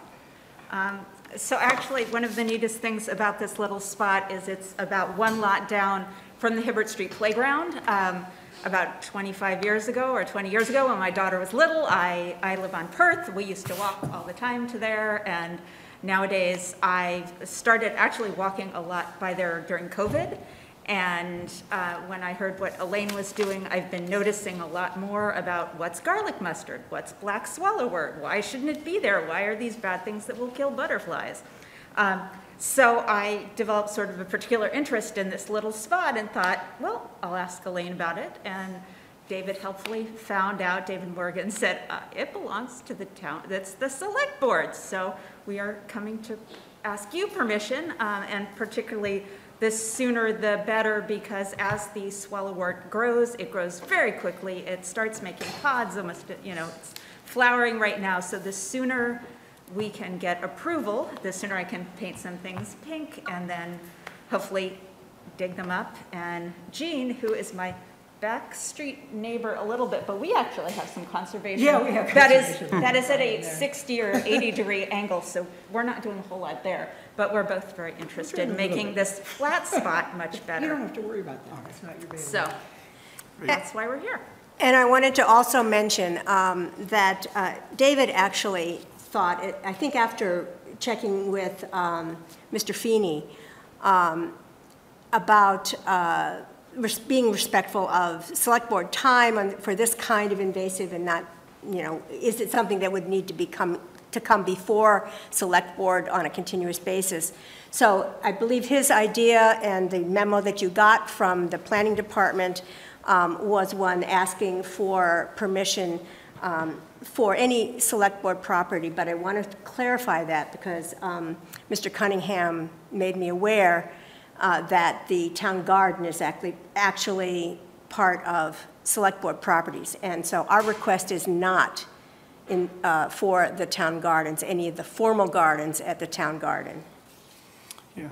Uh, And before I turn it to board members, I- and I, I saw that request, and and I, I I see the, um, the wisdom in not having to come back all the time, but I also think it might be helpful, we'll address this one this evening, to get a list of just, you know, working with David or, or the town manager's office, just what the parcels are, because some of these parcels, it's unclear whether it's our jurisdiction or not, one, and two, just to get an idea of where they are and, and what size, and, and I note this one, it, it's approximately 4,400 square feet, it's not a buildable lot, it's, we've actually got a call a few years ago on this parcel, um, and I don't know if it was one of you, just the concern about it not being kept up, the person who called that in knew the town owned it and was concerned about the upkeep of it. So I think it makes perfect sense for these type of parcels, but I think just for our benefit, knowing what that list is, doesn't mean you come in all the time, but just having something for us, um, and that's just for other board members to consider as we discuss this. So with that, I'll um, turn it over to board members for questions or comments or motions. I- Oh, before I do that, I'll turn to Attorney Cunningham. Thank you, Mr. Chair. And I think your suggestion that a, a parcel list be created be also, would be helpful to the extent that some of these areas and parcels may be within the jurisdiction of the town manager, and there would not be a need for, uh, to come back to the select board necessarily. But uh, I think that parcel list creation is a, an excellent idea. Thank- Thank thank you, It would Attorney help- I think it'd be helpful for everyone. Yeah, okay, Yeah. great, okay. Uh, uh, Mr. Feeney? Thank you, Mr. Chair, and I was just going to add to Ms. Crowder's point that when speaking with uh, Mr. Morgan about this, it was largely about there being a very narrowly tailored window for when you can truly be effective with the removals, and if we missed that window based on the timing of a board agenda, it could put, you know, the group who's willing to put forth this massive volunteer effort on our behalf, essentially a year behind in their effort while uh, invasives are allowed to sort of flourish, if you will. But I, I would agree that knowing which properties are being contemplated is important, and I think we could endeavor to uh, generate that list. Thank you, Mr. And, and just so, when does the window close, like this year in terms of time? Well, uh, basically, it depends on when a particular invasive species goes to seed. Okay, So garlic mustard is just about closing. Um, It has pods on it, it is not dry yet. When it gets dry, they go everywhere. Um, uh, And black swallowwort has a time period that goes from about June, when it it em- emerges at the end of May, and the pods develop and start to release somewhere at the beginning of August. So there's a window there. And it, and it's just, it varies. Uh, We've been working at McClennen um, for woody invasives during the winter, uh, which is, at that period of time, it's easier to get into the, um, the wetlands areas where, um, Oriental, uh, it's- it's actually roundleaf bittersweet now, um, and especially multiflora rose. Both of those are very, very prevalent at McClennen, and it's just easier to get them out during that period of time. okay, all right, great. And, and I'd, I'd just say, in terms of putting it on the agenda, I'm happy to work with you to get it on sooner rather than later, if, if that's where the board goes for, for some of those where the time, time is an issue. So uh, with that, I'll turn to uh, Mr. Helmuth. Thank you. I'm happy to do anything to contribute to the war on garlic mustard and black swallowwort. Um, I, as a gardener, I have dealt with both of those things myself continuously. I know very much what you're saying about the timing. Um, And, Mr. Chair, I might suggest uh, a motion, well, I'm going to make a motion, and then um, please talk me out of it um, if town counsel or the manager or the members think it's a bad idea, and that is to approve uh, the removals immediately on, on this site at um, um, Hibbert and, and Rubley. Um, And then, you know, if we wanted to reconsider a lar, our larger list at our, at a next meeting, um, we can still do that with some speed, with some speed. Thank, thank you, Mr. Helmuth. Uh, Do we have a second? Second. Okay, second by Mr. Hurd. Any other questions or comments from board members? All right, so an motion by Mr. Helmuth, seconded by Mr. Hurd for approval of this part. And Does this have an address or ju- it's just, Hibbert- Yeah, I think the I mean, the address parcel might ID be is there. We can put that in the- zero, zero Lancaster? okay, Zero Lancaster. Yeah. Um, For approval of this program, all in favor, say aye. Aye. Okay, so that's approved and we'll look to work with you on, on the other parcels. Great, thank you very much. Thank you for the presentation. Okay, uh, now, the next one, there's a couple of us that may be leaving the room here. Uh, So item 14 is for approval, letter letter of support, Ann Wright, Mothers Out Front Mass, Clean Heat, Clean Air Campaign. I'll turn to Mr. Helmuth, and then I have my own comment. Uh, Thank you, uh, Mr. Chair. I do need to recuse myself from this discussion uh, due to my employment by the state legislature because um, the uh, petition specifically um, requests communication and petition to our legislators, and under the state conflict of interest law, I can't, um, I can't participate in that discussion vote. Thank you, Mr. And I am also going to recuse myself from this um, because of work I do for National Grid. So I'm going to turn the meeting over to Mrs. Mahon for item 14.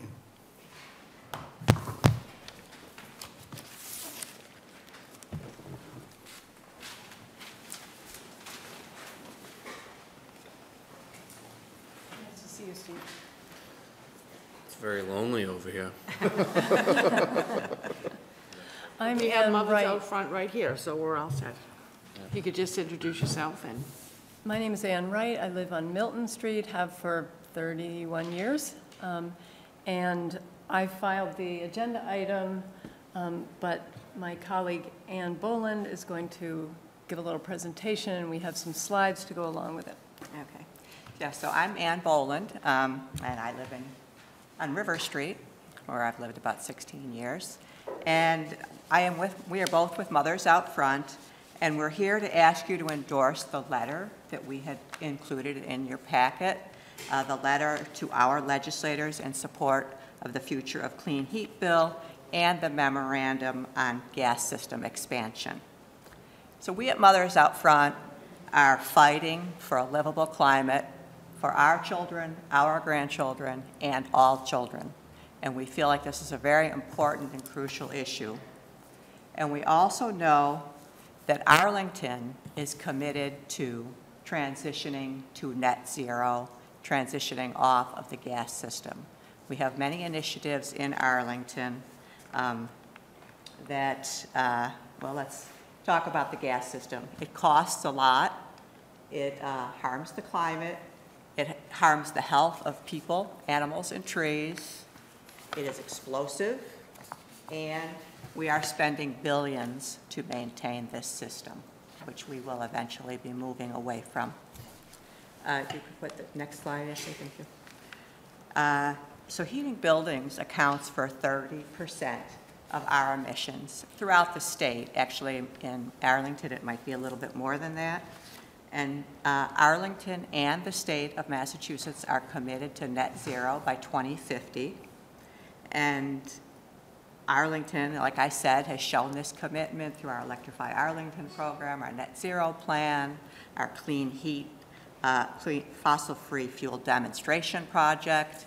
Um, And we also have a- now a grant for a feasibility study for network geothermal in East Arlington. So we're very actively working towards moving off of the gas system. However, this transition away from gas cannot happen with one individual or one community. Despite mounting concerns about gas and its environmental impact, the gas utilities continue to invest billions in pipeline replacements across the state. These replacing pipelines is not an effective way to fix our gas leaks. Only 9% of gas leaks are fixed through pipeline replacement. This underscores the inefficiency of this approach. Repairing gas leaks is much more efficient. Yet gas utilities prioritize capital expenditures because of the financial incentives, favoring infrastructure expansion over maintenance. Next slide, please. So this is the gas system enhancement. This is the gas system enhancement program called GSEP. And all of these little circles is where the gas company is planning to replace pipes. And it is estimated that it will eventually co- come to $40 billion. And uh, just in Arlington alone, the next slide, please.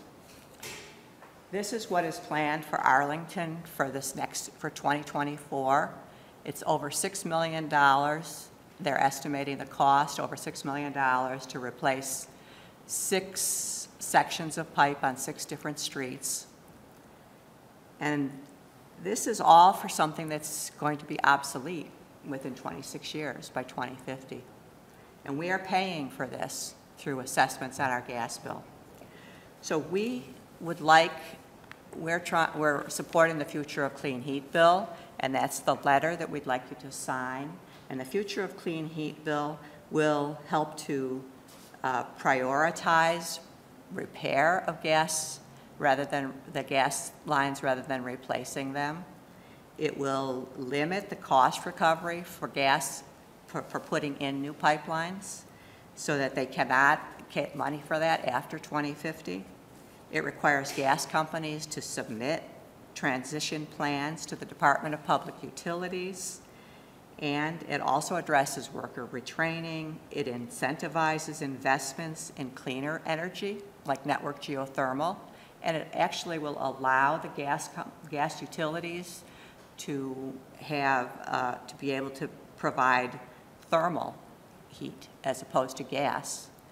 And so it, we feel like this is an equity issue. This is a systematic way to help us transition away from this, the system we have now, which is happening on a piecemeal basis, transitioning right now. So this is a systematic way to do it. It's, it, it, there's a lot of equity. It will set up funds for lower socioeconomic groups to uh, trans, help with their transition. And it provides a framework to include the gas utilities in this transition.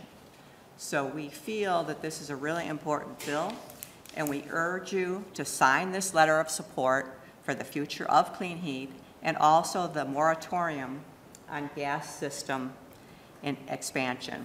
This was what I was talking about with the ground source heat, pumps and network geothermal, which is having water underground that will come into in neighborhoods will use that for their for their heat. So, um, and then what's the next slide? Ashley, I'm sorry, I was like, okay. So this is our, also, we want to triage, repair large leaks and repair them, but we really need to think about transitioning off of gas.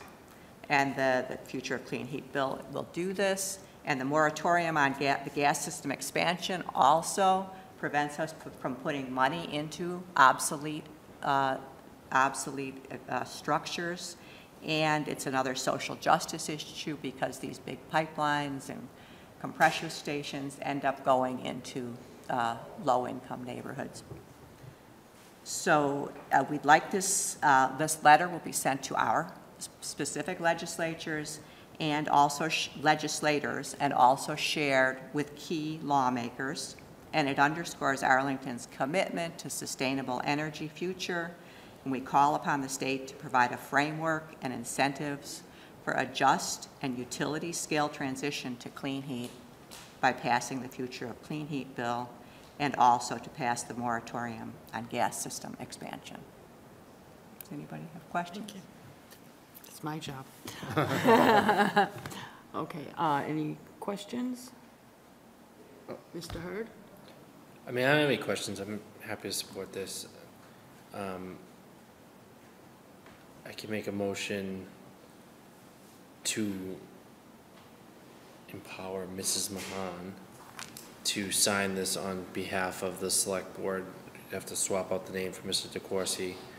Um, and then, I don't know, a little editing, like wordsmithing type thing, like the Mhm. town of, Ar- I, I'd rather just say the Arlington Select Board than the town of Arlington Select Board. I think just flows better, It doesn't in any way affect the, the content of the, of the letter, and I, I know this was just an opportunity to put this together for, to see what the meat and bones should be uh, for the letter, so. You know, I would make a motion to have Mrs. Mahon sign this on behalf of the select board, subject to any small editing that we have to do before it goes out. Thank you, Mr. Hurd. So, yeah, I'm happy to second it for purposes of discussion, and, uh, and so, um, may I ask questions? I mean, so, um, have, have you presented this material to, you know, Senator Friedman, Representative, so they are aware uh, of this? Yes. All right. uh, Yeah. Sean Sean Garballey has um, sponsored it also, co-sponsored it. Yeah. Uh, I don't think Representative Rogers has yet. We, he knows a lot of the information. We've asked him to sponsor both bills. I don't know about the moratorium bill, um, but I know he has, last I checked, he hasn't sponsored the future of clean heat. We have met with him about it, and in theory, he's behind it. And we've met with Senator Friedman's staff also. Uh, She does not make a public commitment. She's on the- the Ways and Means Committee, Right, and yeah. this is actually going through the Ways and Means Committee. yeah. But she is aware that, of it. It seems like it's already there, you know, so, yeah, I have to say, I mean, generally, you know, I have a lot of respect for our, our, um, our reps and, and and senator, you know, and, and I'm generally not inclined to tell them what to do, you know. Um, I mean, in fact, I'm usually inclined to ask them, you know, um, get advice from them, you know, uh, about issues like this, especially things going uh, on in the state legislature. Uh, And so, so that's my kind of reticence to being about letters like this, I mean, and going back a little bit further, you know, I mean, my colleagues have heard this, you know, from me, is that, you know, I think in my first year on the board, I mean, I came to the board, you know, with a letter, me, from the Real Estate Transfer Fee Coalition, you know, because they wanted me to get, I the select board to sign off on a letter on the selection, on some legislation that uh, we were working on, and the board, me, gracefully approved of it. And I have to say, you know, I, I had serious regrets, you know, when, as soon as it happened. I mean, I felt that I'd done the wrong thing, and I wasn't quite sure, me, why it was that I felt like I had done the wrong thing. I mean, partly I felt that, me, uh, that I'd done a disservice to the board. And I could go a little more in detail, but I want to hold back a little bit. Uh, and so I said to myself, I'm not going to do that again, you know, and, and, and, um, and, and since then, you know, we've had another case where, uh, proposal for a letter came up. I mean, um, I think it was for, um, the, um, Alewife, you know, and, and I abstained on that because I felt that we, once again, I didn't want a, for the board to be put in a position where we are asked to support something on, on behalf of uh, a- another group. I mean, and I'm sorry if it's not coherent enough, and that's because I'm not saying exactly what I want to say because I'm afraid if I do, the language will be a little bit too strong and I don't want to offend anyone. You know, uh, but since then, what has emerged to me, I mean, especially since um, in the last six months when we have gotten a lot of emails and letters, mean, um, from people supporting the issues. I mean, in one case, I've, I strongly supported the issue, I mean, and it was uh, around, um, oh gosh, what was, um, it was a climate-related issue. Um, uh, well, it was the, um, the gas, not the gas, the, um, the, um, electric, me, where we, yeah, the. Contract? Yeah, the contract, me, so I was totally supportive of that, I mean, we got a couple of hundred letters at least, I mean, uh, uh, and then, and then there was one on the, on the, the resolution. And what became clear to me is my approach to how I make decisions, mean, as a leader, and I've made it clear to folks that it isn't the number of letters I get, I mean, uh, the number of people asking about supporting an issue or, or making an argument for an issue, or how loudly me they ask for it. Me, I look at the argument, me, and I assess that argument, me, and then I weigh it against the arguments against it, and I make a decision because I feel that the decisions I, I'm asked to make, mean, they aren't the ones where I am trying to gauge how other people feel about it. I'm not trying to, I'm not putting my finger in the wind, mean, I'm not trying to conduct a poll, I mean, I'm really trying to make the best decision possible, given the information that I have, mean, and that's actually how I want, mean, our leaders in the State House, mean, to make decisions. I don't want them being, um, be figuring out how people feel about things. I want them to analyze, I mean, the arguments about it and make the best possible argument. So it's not this, this influence, mean, situation where, we're trying to get a whole bunch of people, mean, to support something and let them know it gets supported. And the other side is trying to get people to, to say, we don't support it, and then they're trying to like, who's, who's winning here? I just, I don't want the leaders to make decisions that way. I want them to make the decisions based on what they think is the right thing to do, uh, based on their values. And I elect them based on their values, I mean, and, and the extent to which I feel they're compatible to mine. I mean, so I can't, I feel that I can't say that's the way I'm going to do things. I mean, and then do something that kind of counters that, you know, so, so I support what you're doing, you know, in terms of this legislation and what the, um, it's trying to achieve, but I also, me, am going to say that I trust, me, the people that I elected, you know, um, at least two, in the case of two of them, uh, and, and say, look, you'll make the best decision. I mean, you understand what's going on there. You understand the issues probably even better than I do, because they really do have to make these decisions. I mean, I'm, I'm taking what you've said. I mean, I, I agree with most of it, I mean, probably all of it. The only reason I'm not more confident is I haven't done more of my own research, I mean, but I trust that they and their staff has. I mean, and so my general approach on these is, is just me to not put any pressure on them. I use pressure with a small p, you know, and, and so, so that's why we, we, I'm going to abstain on this one too, and probably anything else like it that comes me across, you um, know. Could I My make, desk, yeah. could I make one comment? Am I allowed to? I'll allow it, but it's, Yeah, yeah. just briefly. Sure. It- it- Not a question, I- just you want to make a comment. Yeah, I respect your thinking about the differentiation between the two bodies, Arlington Select Board and the legislature. The trouble is, is that um, what they do absolutely affects Arlington. We will not be able to reach our net zero goal, which is a mandate that was voted in, if legislation, statewide legislation like this is passed, because it's a statewide system.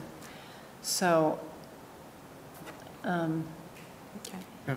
it's all connected, Yeah, thank you, thank you very much. yeah. I was the alewife. And, and, and, um, and, but, but I do respect Mr. Diggins' position, and I understand, um, the thought that you've put into it and, and- and the sincerity.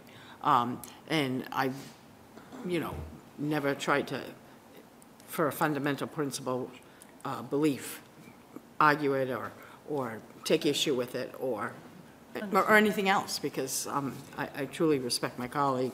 Um, And I'm- I only bring up Alewife because I've been there, and I understand um, the significance of, of of getting a, a select board, a city council vote for individual representatives and senators. I've been in there, um, in the State House. I know how it works. A lot of times you can't just do the right thing because it's the right thing solely on that. If it was, there'd be a lot more great decisions um, that, that I believe come out of the State House. And I do know, you know, whether I worked on minimum aid or, or the CSO issue or uh, um, Route 2 or a whole, whole whole uh, other myriad where I was a member of the board and a few times I wasn't, where I did ask for the Board of Selectmen and now the Select Board to endorse something because it does carry weight um, with our uh, legislative delegation, sometimes on things that they're 110% behind. And that helps them to say, as well as, you know, our colleagues, our elected officials on the select board support this. And sometimes when they're um, on the fence, because they're really not as close to an issue as a member of the select board is, they're in the state house and they can't know all things for everything. And sometimes if they're on the fence, it's 50-50. They, they have seen um, something from the select board, which more times than not, either themselves or in the case of the senator, her staff, um, would contact a member uh, individually or collectively. So I do see the value of it. Um, So, um, and, and I do respect Mr. Diggins' opinion, and I'll tell you that, you know, if you ask him to do something individually um, on this, uh, that's something that, you know, time permitting, uh, on what he agrees with, which sounds like just about everything, um, I know he'd, he'd be willing to do what it is he can do in his own way. So, um, with that, uh, and um, I don't need an answer to this tonight, and perhaps there is no answer, but on uh, Mr. Hurd's motion, seconded for discussion by Mr. Diggins, with the amendments to uh, change the language and add my signatory line, um, is there something else we should be doing on things like this, putting an asterisk or footnote on the, or we can just keep their names up there and they're okay with that? Okay, so, any further questions from my colleagues? Um, Okay, and a motion by Mr. Hurd, seconded by Mr. Diggins. All those in favor say aye. Aye. All those opposed? Uh, Those abstaining? Aye. And we have two of our colleagues who have recused themselves, so that's a two-zero-one vote. Thank you. Okay, thank you very much. Thank you very much. And let, please let us know what else we can do, Okay. including Mr. Diggins. Hope it's okay. Yeah, no, totally, totally, no, no, thank you.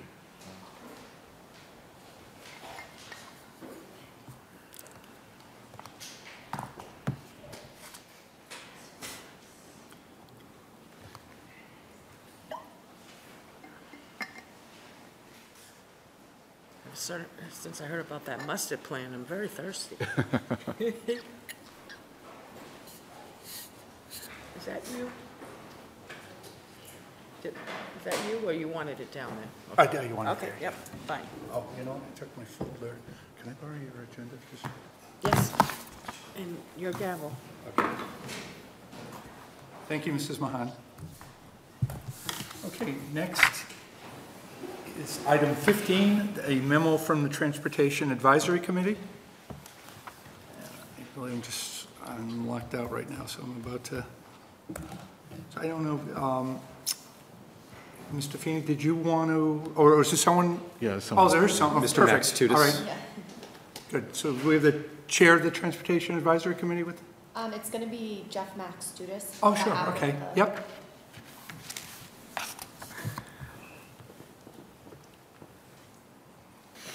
Good evening, Mr. Maxtutis.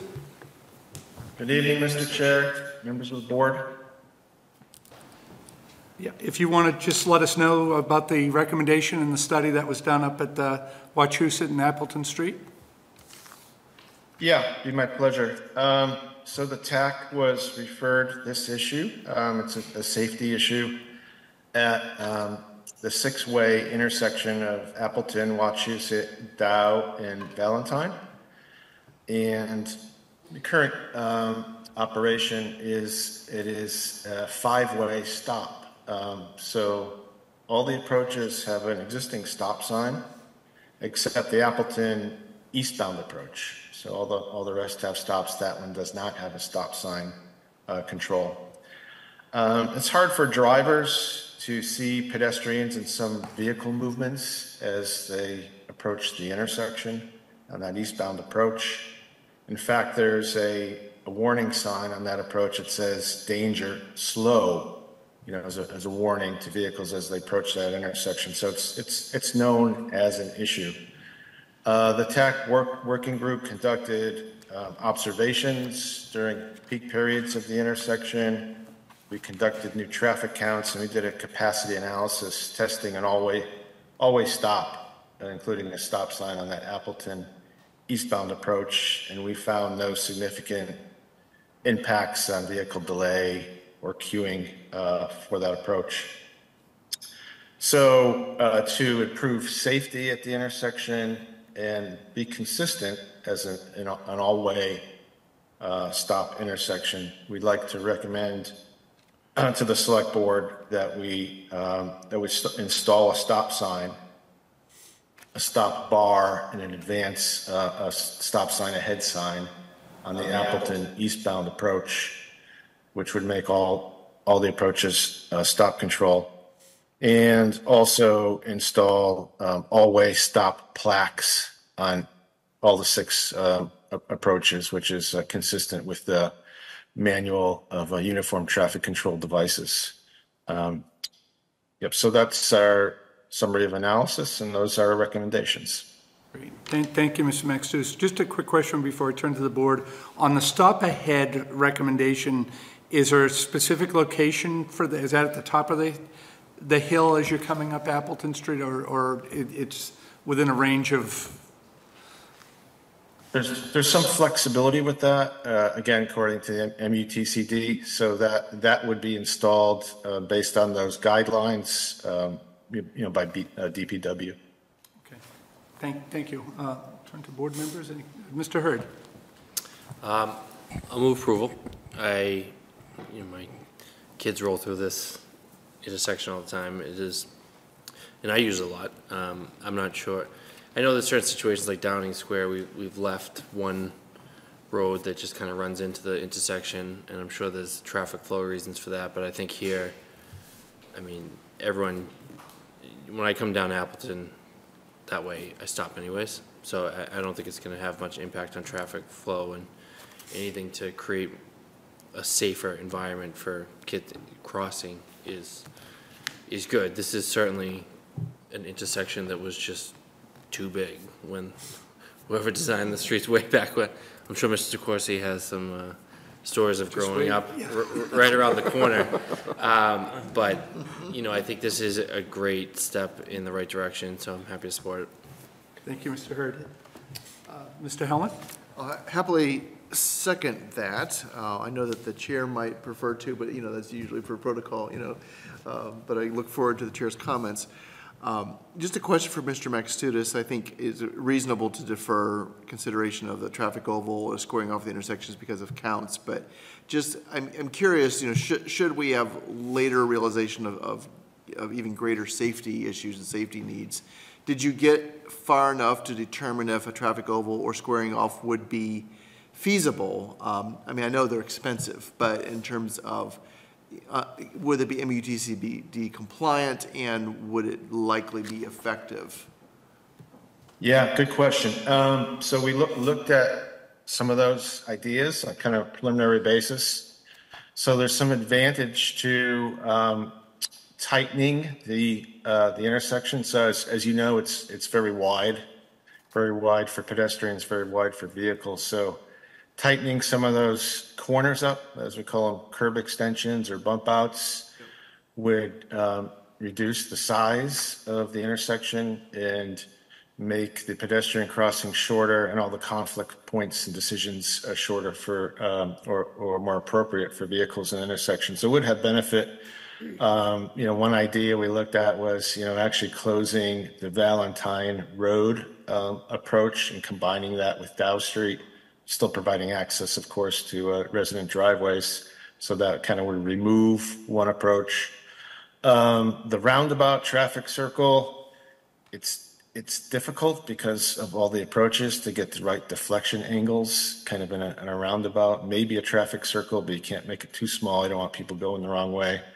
Maybe some drainage challenges. So we didn't get too far along with that. Um, so I would say those options are, pro- you know, some, some of them are feasible or require more engineering analysis or design um, as to um, as to what the details of those are. And as as you mentioned, it you know it, it would not be inexpensive to do to do any of these things at this location.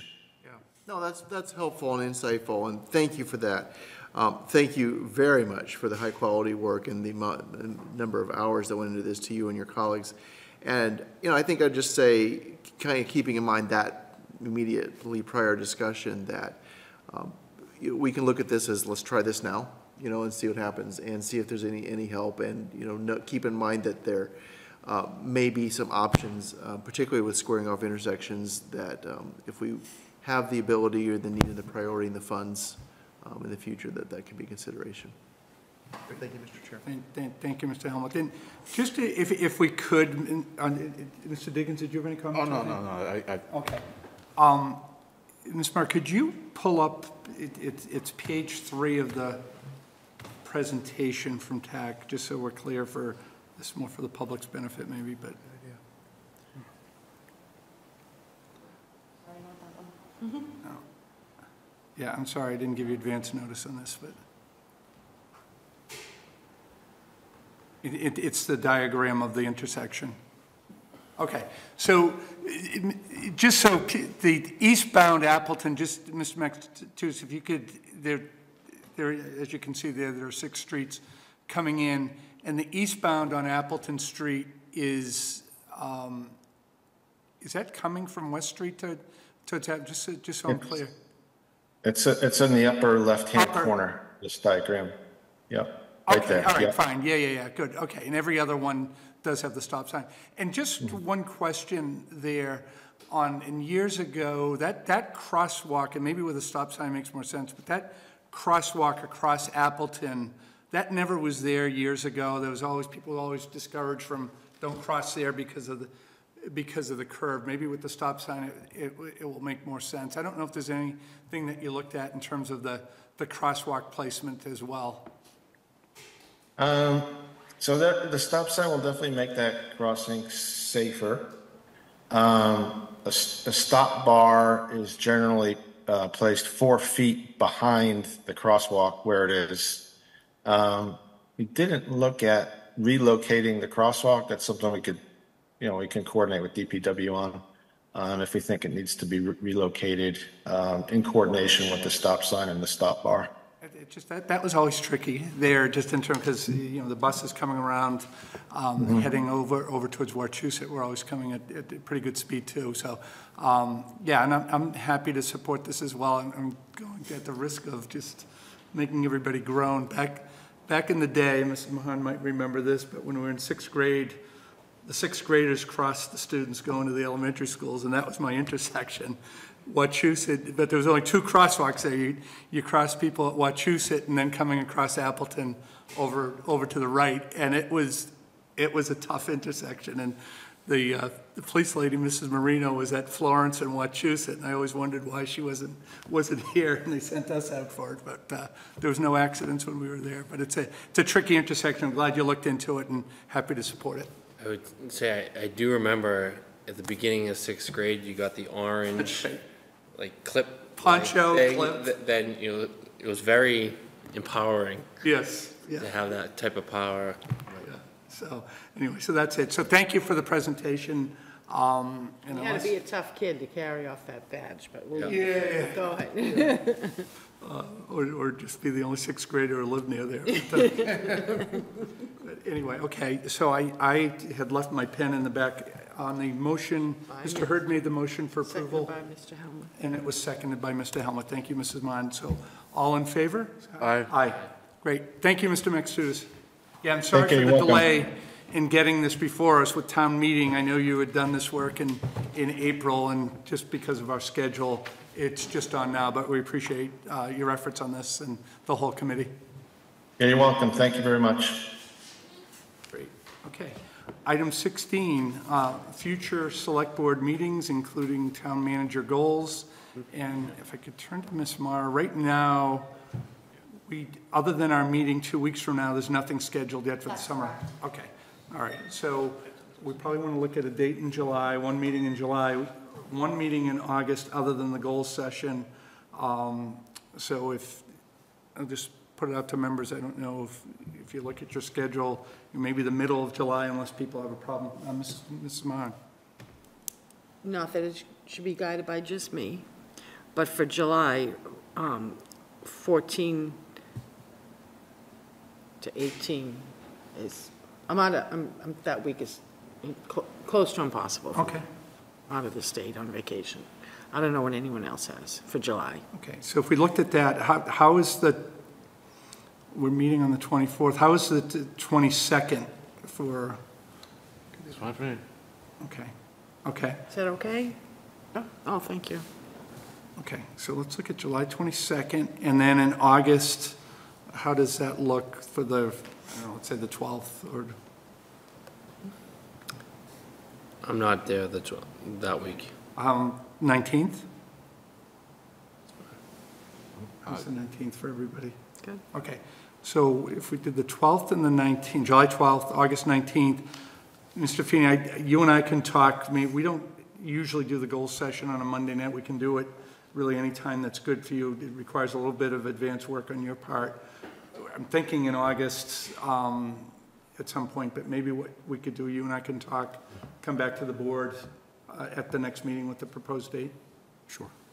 Uh, Mr. Diggins? And I'll just say, even though we don't have to do it on a Monday night, I mean, Monday nights are nights that I tend to keep clear, I mean, for select board stuff, so other nights of the week for me on various weeks or, or stacked, I will make this a priority, you know, and so, so it'd be, I'd be hard pressed to say I'm not going to do a meeting because of these other conflicts, but Mondays tend to have no conflicts for me because I reserve them for, for Okay. us, you know?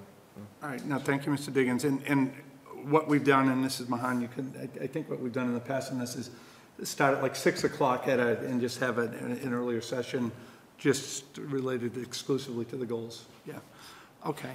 Um, Why don't we look into September, just to get September Yeah. on the board? Yeah, And we also during the month of September, the redevelopment board would like to meet with us. I have to talk to Chair uh, Zsembery about uh, potential dates, but what if we looked at the 9th and the 20, the 9th and the 23rd? How does that look for? Uh, It looks pretty good, although I think we should um, start looking into holidays. I mean, so um, um, Yom Kippur, you know, Rosh Hashanah. I mean, just let's double, if we can, do a quick check on that. You know, Yom Kippur looks like it's the evening of October 11th. oh, so it's late. All And right. so is Rosh Hashanah's in October. Let me Yeah, look okay. at- They Both, last year No was problem, so it's Rosh. All right, premature. So when we hit October. How are those dates? Are- And Rosh Hashanah is also in October, okay. it's the first weekend, Um, or it- Wednesday, I'm sorry. It's fine, I'll, I'll probably be out of town on the 9th, but that's just one member, so I don't mind if you. And that's that whole, yeah, okay. Mr. Chair, I would likely be out of town on the 23rd, but able to participate remotely. Mm -hmm. All right. I guess there's the 16th and the 30th. Yeah, I'm just a little worried about the 16th and the 30th. Yeah, That's a I'm little too. late to start the I- first meeting in September. I think there might be some wisdom in just doing the 9th anyway, um, so that you, people, business aren't held up, you know, Yeah. after the, after the summer Common break. Vics and stuff. It's fi- yeah. fine with me. Okay. I know you will somehow. All right, let, let's hold those dates and we'll take a look to see if there's in- any other conflicts. And then we'll get back to you on the goals session and on the redevelopment board uh, joint meeting. And maybe that would be one for the 16th. And then when, um, sometime in July, if you and the town man, oh, I'm talking out of turn, sorry. On the goals meeting, if, um, I know in the past, they've e- existed in the bowels of Mr. Chapdelaine's email, and sometimes, whatever's the most up-to-date select board goals, Right. if we can have that, like, at least a week, week and a half in advance to look at, along with it, the, whatever is the Absolutely. most recent Right. town meeting member goals, which again, I think would be in Mr. Chapdelaine's email, because we did not do it with Mr. Pooler. That's right.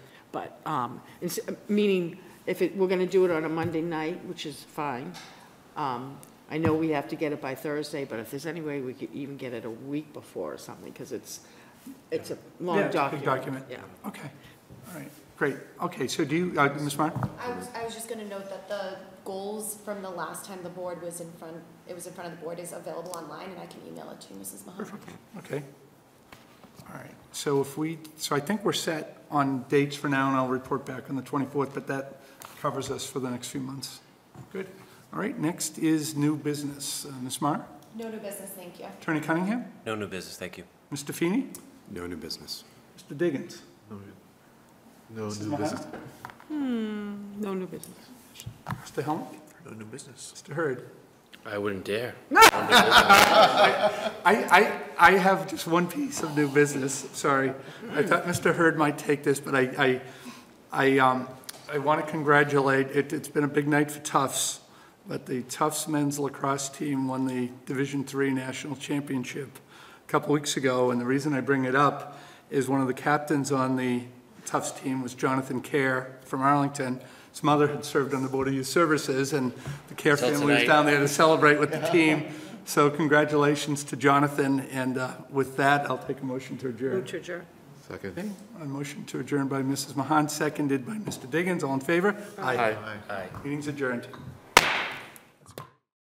ACMI productions are only made possible with your support. Visit patreon.com slash ACMI to learn how you can help.